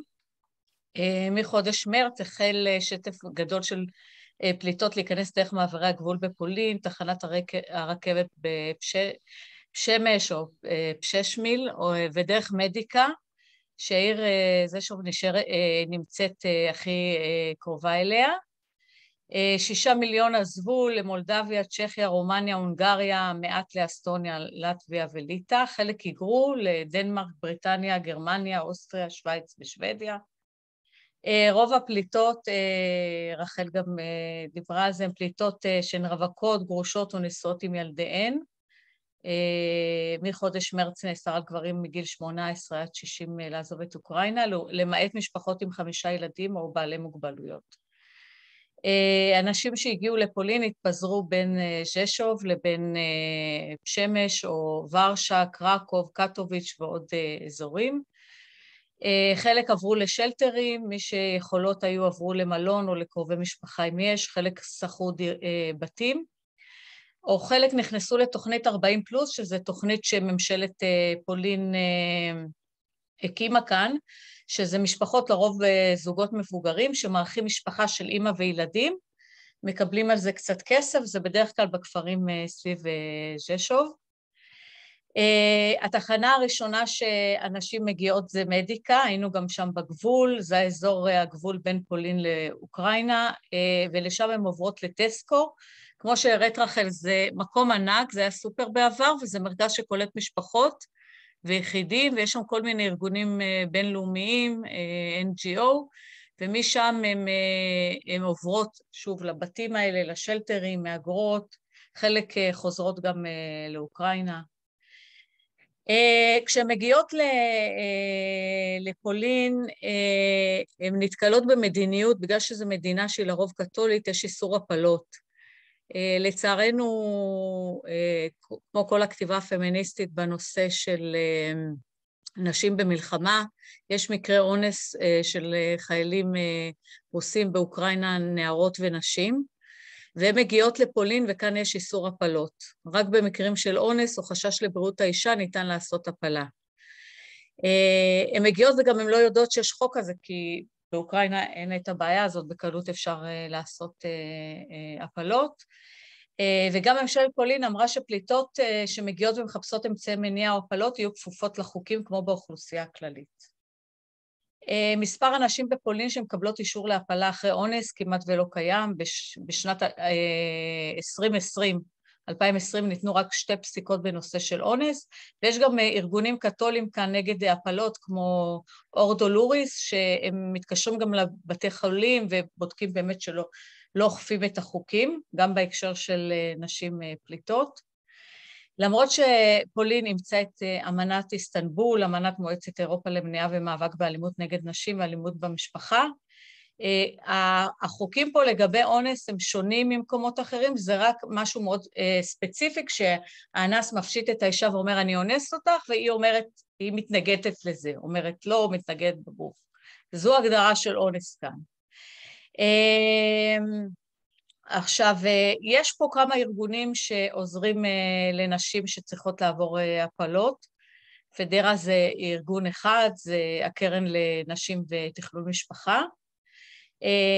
ויש מרטינקה, שזה קו חם לנשים פליטות, שאפשר למצוא אותו גם בטלגרם. הטלגרם כאן עובד גם מאוד חזק. זה הוקם בסוף מרץ, זה עובד עם ארגונים של נשים ברשת וארגונים גרמנים. זה עוזר גם לנשים לקבל תמיכה, סיוע משפטי, רפואי בפולין.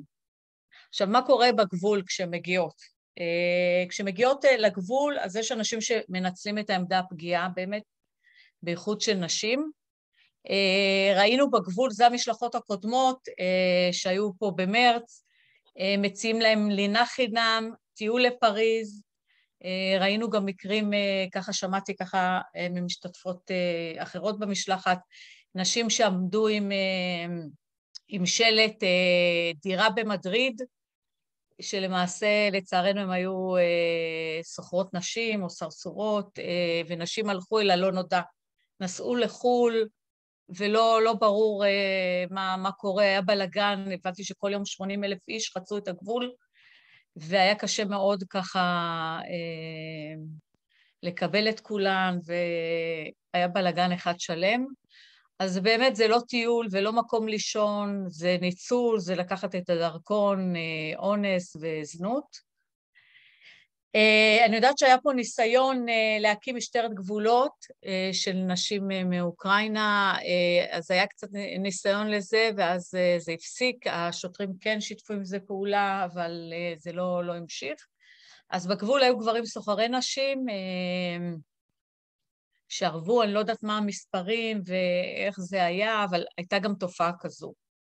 כנראה לא תופעה גדולה, אבל תופעה.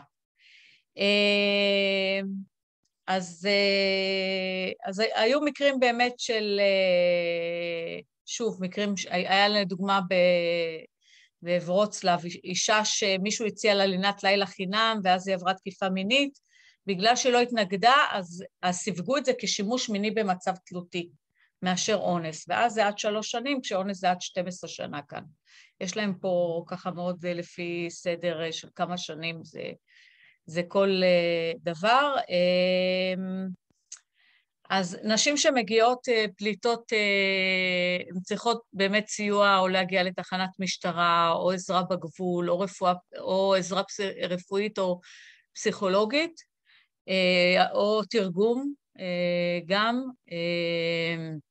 גם אמצעי מניעה לשעת חירום, הגלולה של היום שאחרי אלה, הוא נמכר באופן חוקי בפולין רק במרשם רופא, ולפעמים גם מסתכלים ככה על מישהי שמבקשת את זה בצורה ככה לא כל כך טובה בבית מרקחת, אה, כדי לקבל את התרופה, אה, את, ה, אה, את אלה או פוסטינור או כאלה, צריך להגיע לרופא ולבקש מרשם, ואז צריך להירשם במרפאה ציבורית בפולין, והתור הוא חודש, או לקבוע תור לרופא, שזה בין 150 ל-200 זלוטי, משהו כמו 130 שקלים עד 180 שקלים, אה, וזה הרבה כסף באמת אה, לנשים אה, פליטות.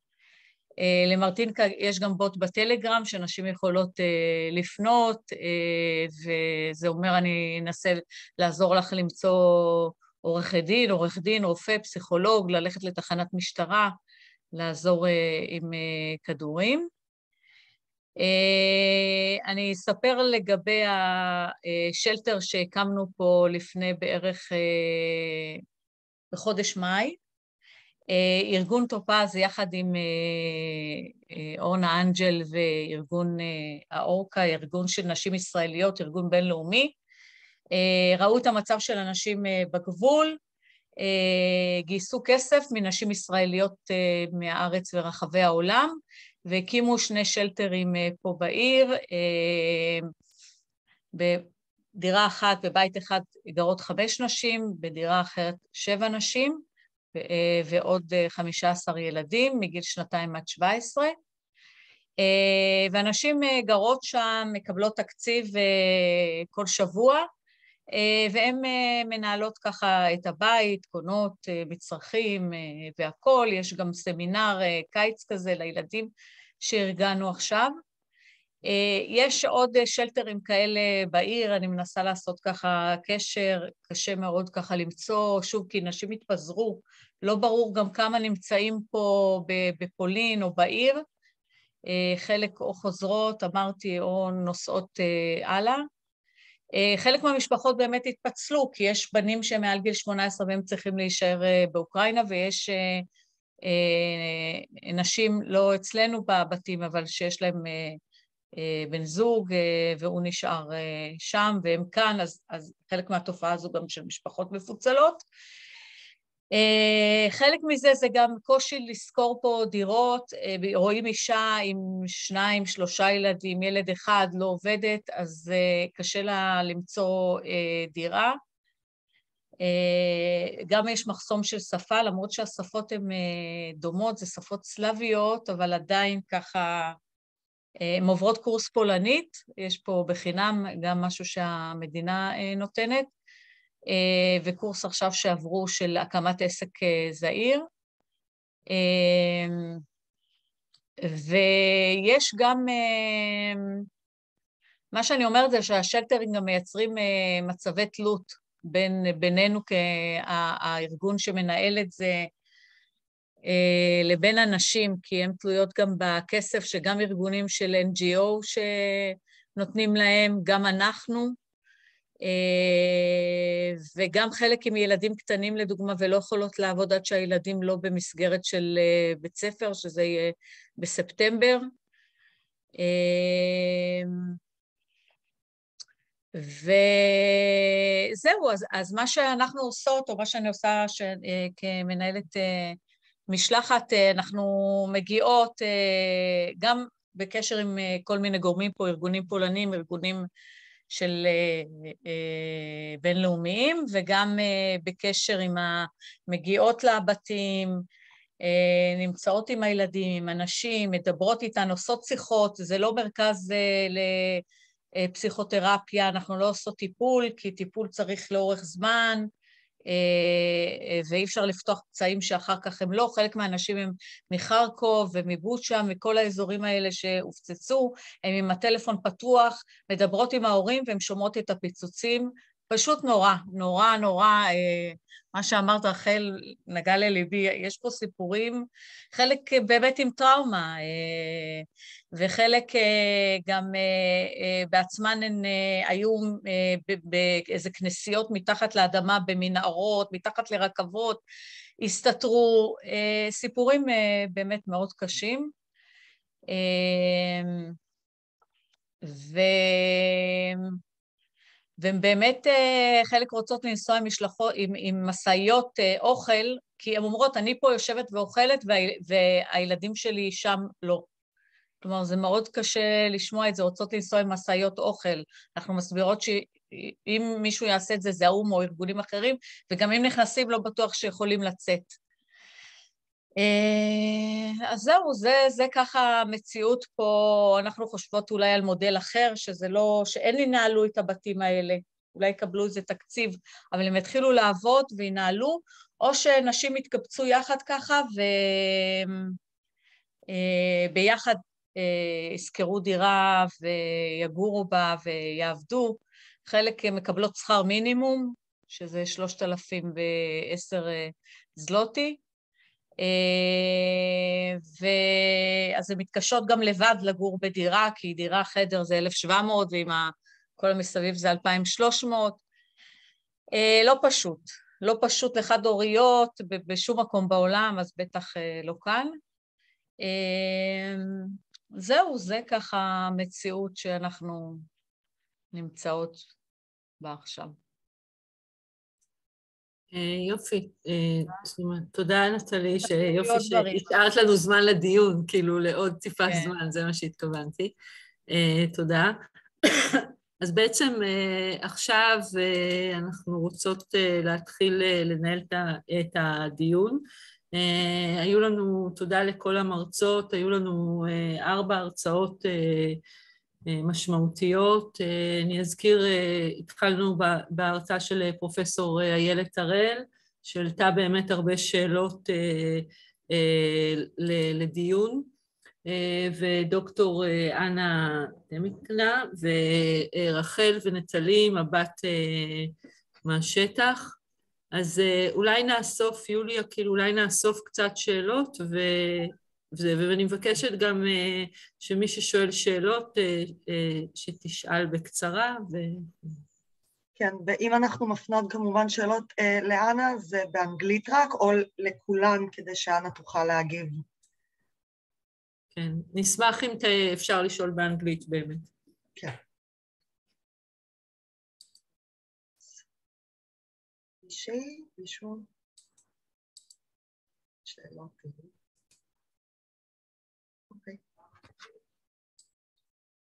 רחל, אגב, אצלנו אסור לצלם בטסקו. אני ראיתי את התמונות, הם פוחדים שם מחטיפות ילדים וצילום של ילדים לחולצות, אני לא זה, אבל ממש אסור, ויש שם אה, ככה שמירה מאוד בכל מקום, רואים את זה.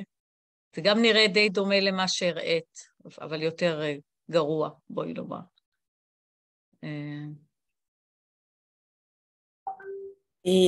טל, אני רוצה להתחיל. I'd like to ask Anna and Ayelet at the same time about the notion of um, um, hegemonic masculinity. Both of you touched upon this notion as uh, holding some explanatory power.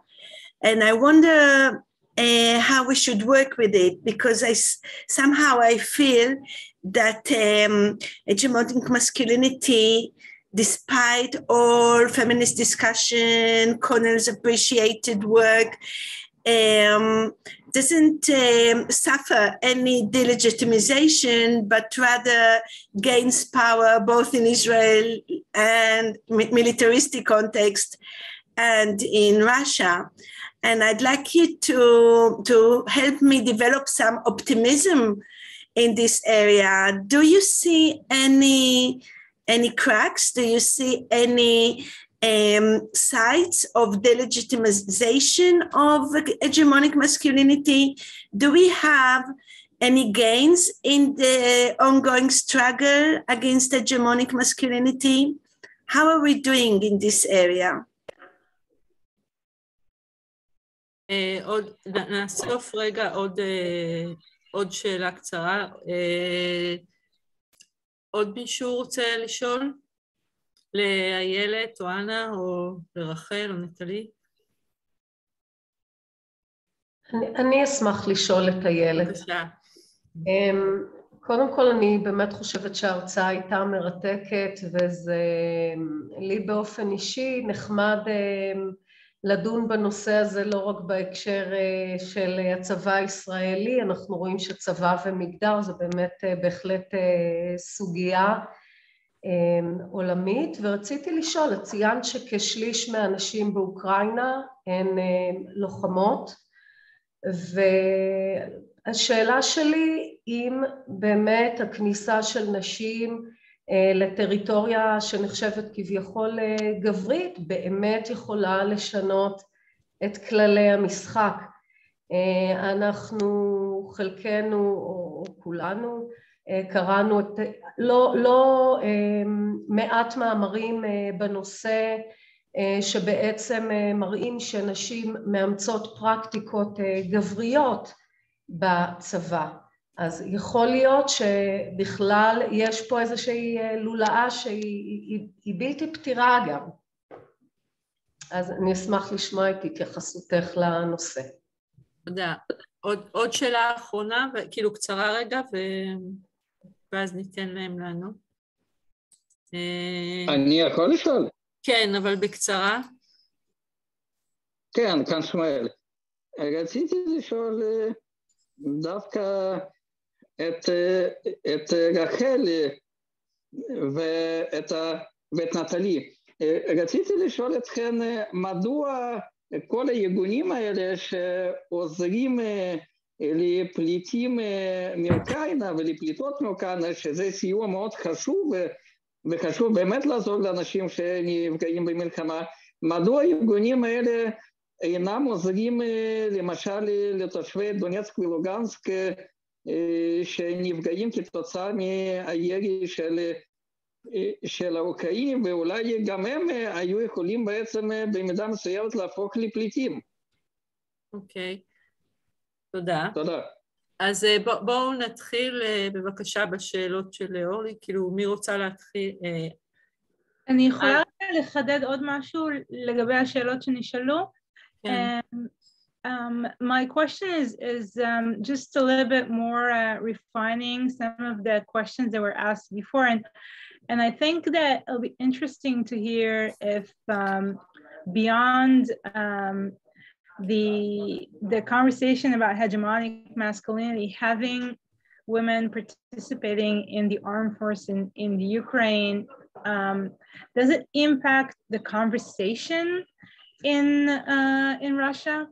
Namely um, in order of in, instead of asking if it changes the way military operates does it change the way um, russian think about the ukrainians um, or about their army?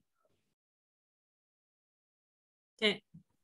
Okay thank you. And anna please do you want to? Thank you. Could i re, re Anna, you're on mute. No, okay. Could you listen me? Yes, we hear you. Okay, good. Thanks a lot. I will try to reply shortly to react and uh, orally. Uh, I would be happy to give you and us some optimism. I'm not sure I have a lot, but um, but before this war, I had because there were different patterns of masculinity which compete with each other in Russian society. Uh, hegemonic masculinity is, of course, a contested term, but I will not go into this uh, theoretical discussion. But if we more or less understand what is it, it's like uh, attractive, attractive patterns which are supported by resources, which are promoted, which men want to follow, which are supported in society. There were different ones in Russia.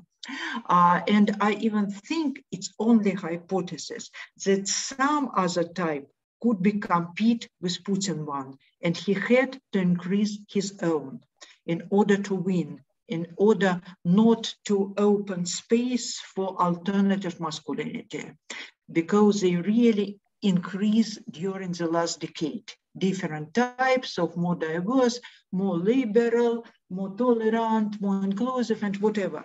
Uh, even with a lot of problem within it uh, with our liberals. But and so then, just to stop this diversity of society, homogenization of this aggressive militant type helps a lot. War helps to such type of masculinity and to his power, not his personal power, but power of such patterns. And uh, so now there is not as much optimism, though still there are persons who have, a lot of persons who are uh, who follow another type, but either they immigrate now in from Russia or they stop speaking publicly or they go into profession and private life and they were not very political influential and there, now there is no space for political influence of other types so it's yeah, and uh, and uh, uh, there was one about women in Ukraine. I I'm, I I don't think it influenced a lot because there is uh, those segment in society, uh, very not very large segment of society who follow all global news and looking for what's really going on in Ukraine, but there is such segment in Russian society. But there is so small segment within this segment who are feminist and who are interested in women positions in this uh, war and what's going on, that it's not very influential voice in society at all. And so I think not now maybe later. Even there is a lot of feminist struggle in society, but it's very non-visible one. It's like kind of partisan uh, struggle in networks, in some small niches and whatever. Thank you. Uh, Ayelet?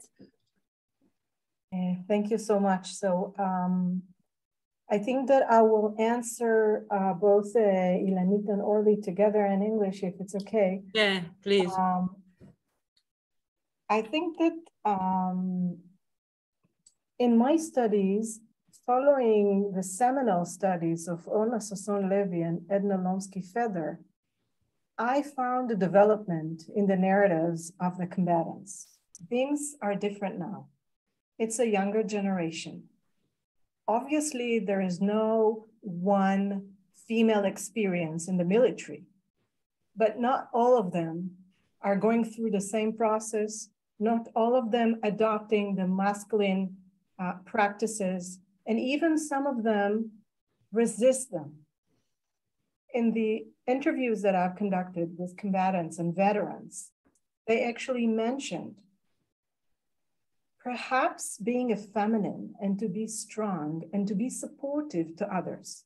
This is what it means to be a good commander, not necessarily to be tough, to be the guy.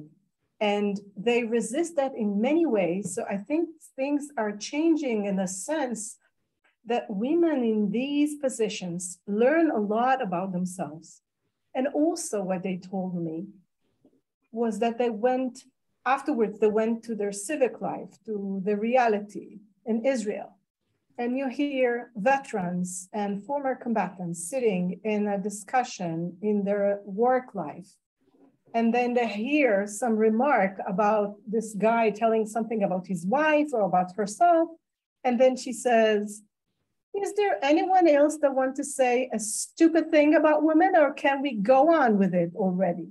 So they actually, they challenge even in their civic life when they finish and they conclude their military service, they go back into civil life, they have some strengths that they acknowledge that I can tell someone to shut up and they can do it more fiercely.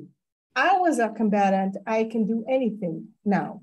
So I'm not saying that this is the, the overall uh, experience of women, but I am saying that um, when using uh, Sasson Levy and Lomsky Feather brilliant research about combatants, I think that things are changing and we acknowledge that in, in the research of like new generation uh, is coming and they see themselves as more equal. I'm not telling that, uh, you know, the politicians now are seeing them as equal. You, you saw that the slide that I put of Gantz and Merav Michaeli, she certainly thinks that she's no less than him, but he actually thinks that he's better than her, apparently. So there is a struggle and there's a process. And about hegemonic masculinity, I think that what is really interesting about looking at the new wars at the moment. So we, we, we can see that we have wars that are like regular wars, like with tanks and missiles and all that. But we also have various elements of war in the new wars of war rooms and technology and all sorts of equipments. And in these roles, women can be equal to men because it's not about muscles. It's not about who's the strongest. It could be uh, smart, it could be the brain power. So then, obviously, women can also take the lead. They are considered much more responsible. For instance, when we are discussing lookouts, that's pitaniot, in, in, in the military, at the beginning, this combat support role was uh, occupied by men. Men were falling asleep during their shifts. Women were considered much more responsible in doing what they're doing.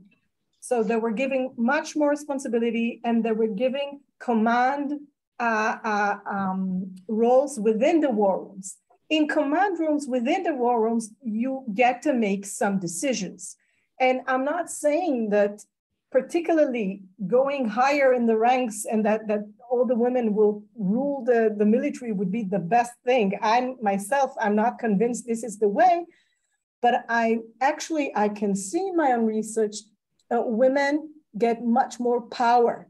And when, when women are considered as the one that are protecting the state, they're protecting their peers, they're protecting uh, Oref, the Oref, they protect the state behind them. So people evaluate them, they're less skeptical about their abilities, and they appreciate them more. And I think that when women themselves appreciate themselves and then others look at them that they can protect, so they can also uh, be a part of taking decisions about wars.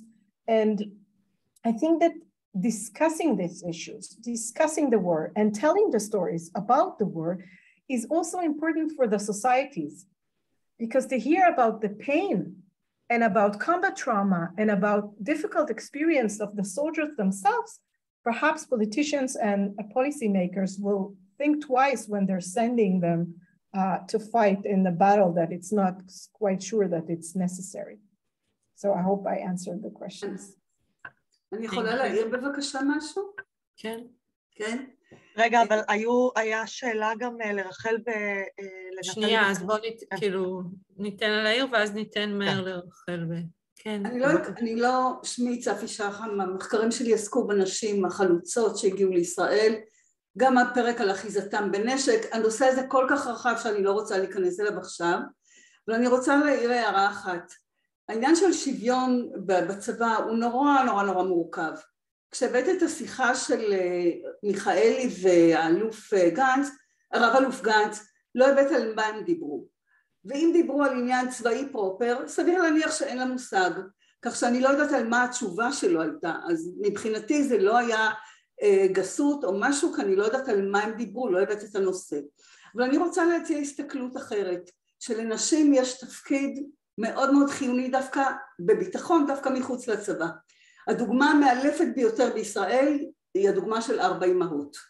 הכוח הנשי הזה העצום שינה משהו מאוד מרכזי במדינה ואולי כדאי להרהר במקום לדבר תמיד על שוויון ולהיות במקומות של הגברים על תפקיד שהוא לא דומה לתפקיד של הגברים, שהוא מאוד שונה במהות שלו, אבל הוא מאוד מאוד נשי בתפיסת עולמו, ויש לו המון המון כוח לשנות מציאויות. זה הערה כאן, היחידה כרגע. אוקיי, okay, תודה. Uh, צפי, uh, כמובן העלית עכשיו נושא שלם שאנחנו לא יכולות... לא, הוא קשור, הוא קשור ספציפית לעניין של האם אישה שאוחזת נשק או מתקנת טנק היא היום מודל השוויון. אני אישית לא בטוחה. ברור, וגם, נכון, וגם איילת ציינה בתחילת דבריה את ה... כאילו את הפן הזה של, כאילו, ברור שהשיח הפמיניסטי יש לו עמדות לכאן ולכאן, ואנחנו לא יכולות כאילו פשוט לתת עכשיו לדיון הזה, אבל תודה על ההערה. לא, זו הייתה הערה אחת. אולי רחל ונטלי, רחל, בבקשה, אם את רוצה להתייחס ל... הייתה שאלה בצ'אט על הדימוי של הפליטות. לא ראיתי את השאלה, את יכולה לחזור עליה? איך אנחנו, איך אנחנו לא, אני לא זוכרת בדיוק את השאלה עכשיו, כן. אבל איך לא עושים רדוקציה לדימוי הזה של כן. פליטה קורבנית וכל זה. נור שאלה, אני, אני אקריא כן. אולי רגע את כן. השאלה. 아, כן, נור שאלה, כן. נור שאלה, כן. כיצד נצליח להכליל כמה שיותר מופעים של נשים פליטות, בלי לצמצם אותן למופע אחד של נשים פליטות קורבנות. כן, תודה. אולי אני אחדד, זה, סליחה, עוד משפט קטן, רחל, הדברים שלך היו אה, מרגשים וחכמים, והרגע הזה עם האישה בת השמונים ככה הלך איתי, ואמרתי לעצמי, זה מדהים מה שאת עשית, אבל האיש, כאילו לא אבל, אלא איך, איך המקום הזה, שזו אישה בת שמונים שמגיעה לשדה התעופה, וזו אישה בת שמונים שעשתה המון המון דברים לפני שהיא פגשה אותך ולפני כל הרגע המטורף הזה, איך אנחנו יוצרים את המקום הזה שיש הרבה מאוד דברים שנשים פליטות יעשו ועושות ואנחנו מצליחות לא לצמצם את זה, להיות רק האישה הפליטה הקורבנית. בעיניי זו אחריות כאילו האחריות האתית והמחקרית שלנו והאקטיביסטית שלנו. תודה. אה, אולי אני רק אגיד לשמואל קודם כל, קודם כל שאני לא, לא יודעת ולא מבינה אה, את עומקה של הפוליטיקה של ארגוני ההתנדבות, אני באמת, אה, באופן כללי אני רק אגיד שהיה בולט על פני השטח ארגוני מתנדבים יהודיים, כשנגיד היו מחנות פליטים צועניים נורא נורא גדולים, שבאמת אה, הרבה גם המתנדבים, גם במחנות פליטים של צוענים הם, יהוד... הם ישראלים שמגיעים, וזה כנראה משהו שהוא, אה, שהוא גם מעניין ברמה התרבותית, אה, אבל זה באמת היה ברור שמי שיהודי הוא יחסית מסודר, יחסית לפליטות האחרות. באמת היה כתובת ובית ובית כנסת והיה למי לפנות. אמ, במובן של, אה, של אמ, אולי אני אגיד נאמנות, אני בחלק, בכובע השני, חוץ מהמחנות פליטים, יצא לי לעבוד ב, בסיוע באיזשהו מערך חילוץ של גברים, שהם, זה היה סוג של אה, מערך פרטיזני, אני לא עשיתי תפקידי שטח, אח שלי היה שם בתפקיד שטח והייתי יותר שם בעורף, בשיח עם הגברים, להכין אותם לקראת חילוץ, ובאמת אה, זה היה לכאורה משימה אנטי-אוקראינה, כי בעצם חילצנו גברים שלא רצו להילחם מתוך אוקראינה למרות צו הגיוס.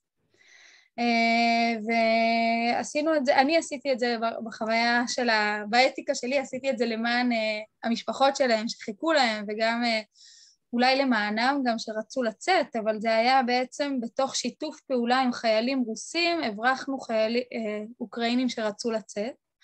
באמת יש שם איזה קונפליקט נאמנויות של, אה, כאילו באמת אולי מתחבר לשאלה של איילת, האם אה, חייבים להיות נאמנים לאיזשהו צעד או לא, יש פה משהו אה, מורכב, מורכב יותר. עכשיו לגבי השאלה של נור, אני מאוד, היא מאוד חזקה בעיניי, אני לא הייתי מחברת את הצמד של פליטה קורבנית, כאילו בחוויה שלי הפליטות שאני פגשתי הן פליטות לביאות. אה, וגם אני חוויתי את עצמי כלביאה בסוף, למרות, ה, אה, למרות שהגעתי פיזית אה, חלשה פיזית ונפשית, אבל אני חושבת שעברתי חוויה שהיא מכוננת והיא חזקה, והפליטות שם, והאישה הזאת בת 85 היא לביאה, היא, היא חילצה את עצמה ואת שני החתולים שלה מתוך מצב ש... שהוא כמעט בלתי אפשרי, וגם במחנה פליטות, לראות את העוצמות של נשים שנמצאות אחת עבור השנייה. ו- ואיך אפילו הן עושות שם, פותחות שם, אה, היה מדהים לראות איך הן פותחות שם איזה מועדון אה, קוסמטיקה. כאילו סתם, עכשיו זה יכול להישמע אולי רדוד וזה, אבל היה שם המון חיים גם, ו... אמ, והמון באמת, זה, זה נשים שבאות עם מקצוע, עם חיים, עם אהבות, וזה הרבה דברים. ובאמת זה איזושהי צומת שהיא, שהיא עלולה, עלולה להפוך אותן לקורבניות, אבל אני ממש מסכימה איתך, אני חושבת שאנחנו, כאילו, שיש פה משהו שהוא אה, אה, מכלול הרבה יותר גדול של, אה, של האדם שהן. אה, אני מקווה שבדברים שלי לא עבר רק המסכנות, כי זה, לא, זה ממש לא הייתה המטרה, אבל אה, זהו, אולי, אה, אולי נטלי תגיד מהחוויה שלה. כן, אני רוצה להוסיף, כי זו שאלה שאני באמת דנה איתה ואני מיוסרת. נור תמיד יודעת לקלוע ככה על הדבר, חברה יקרה.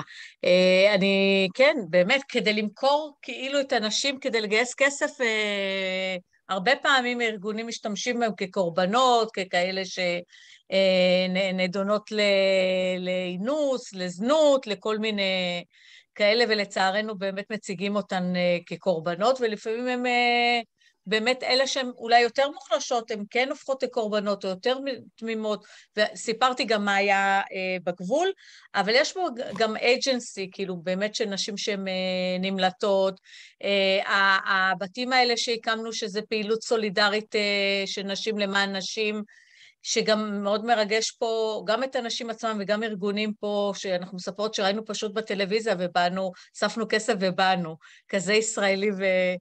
אה, ואנחנו אומרות לנשים באמת שיש להן אה, כוח, אבל גם מותר להן אה, להרגיש שהן, שקשה להן, כלומר, לבכות על זה.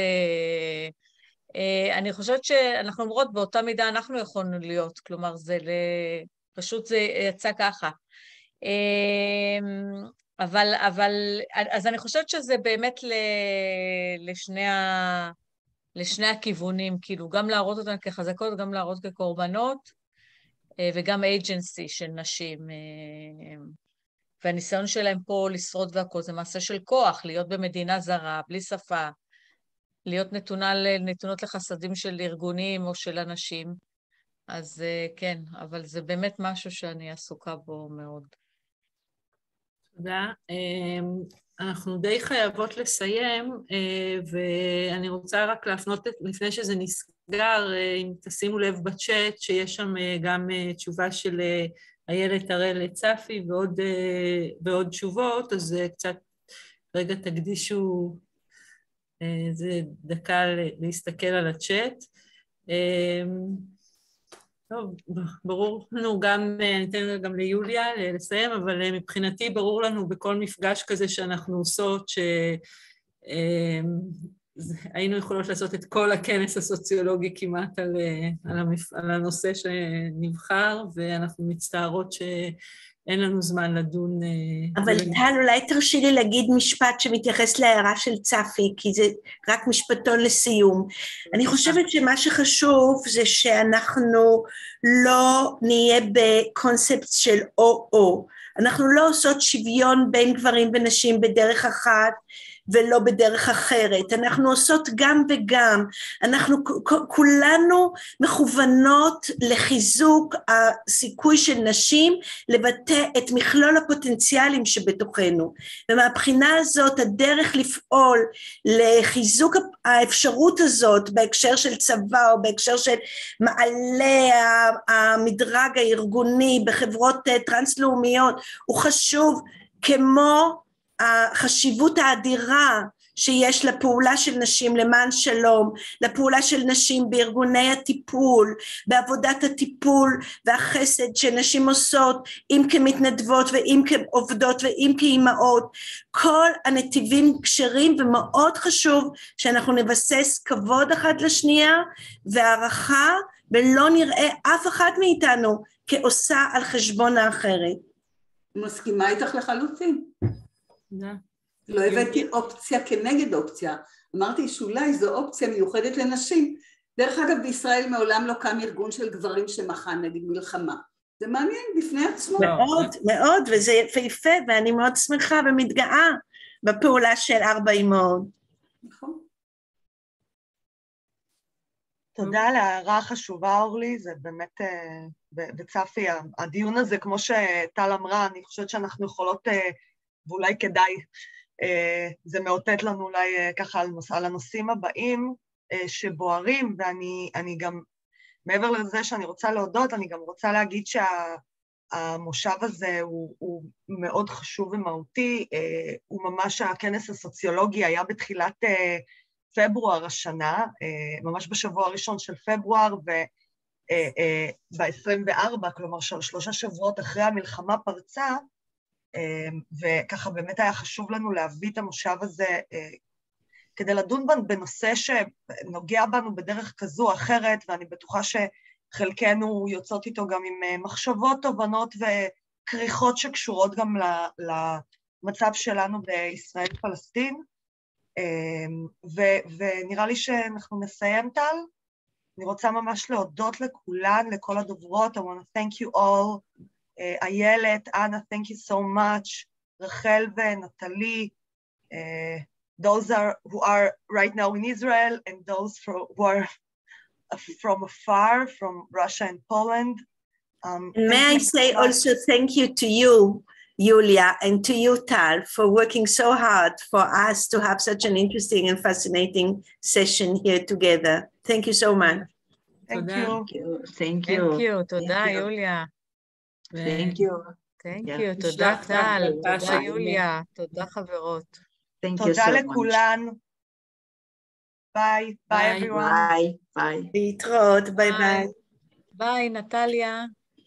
טל, טל. טל ניצן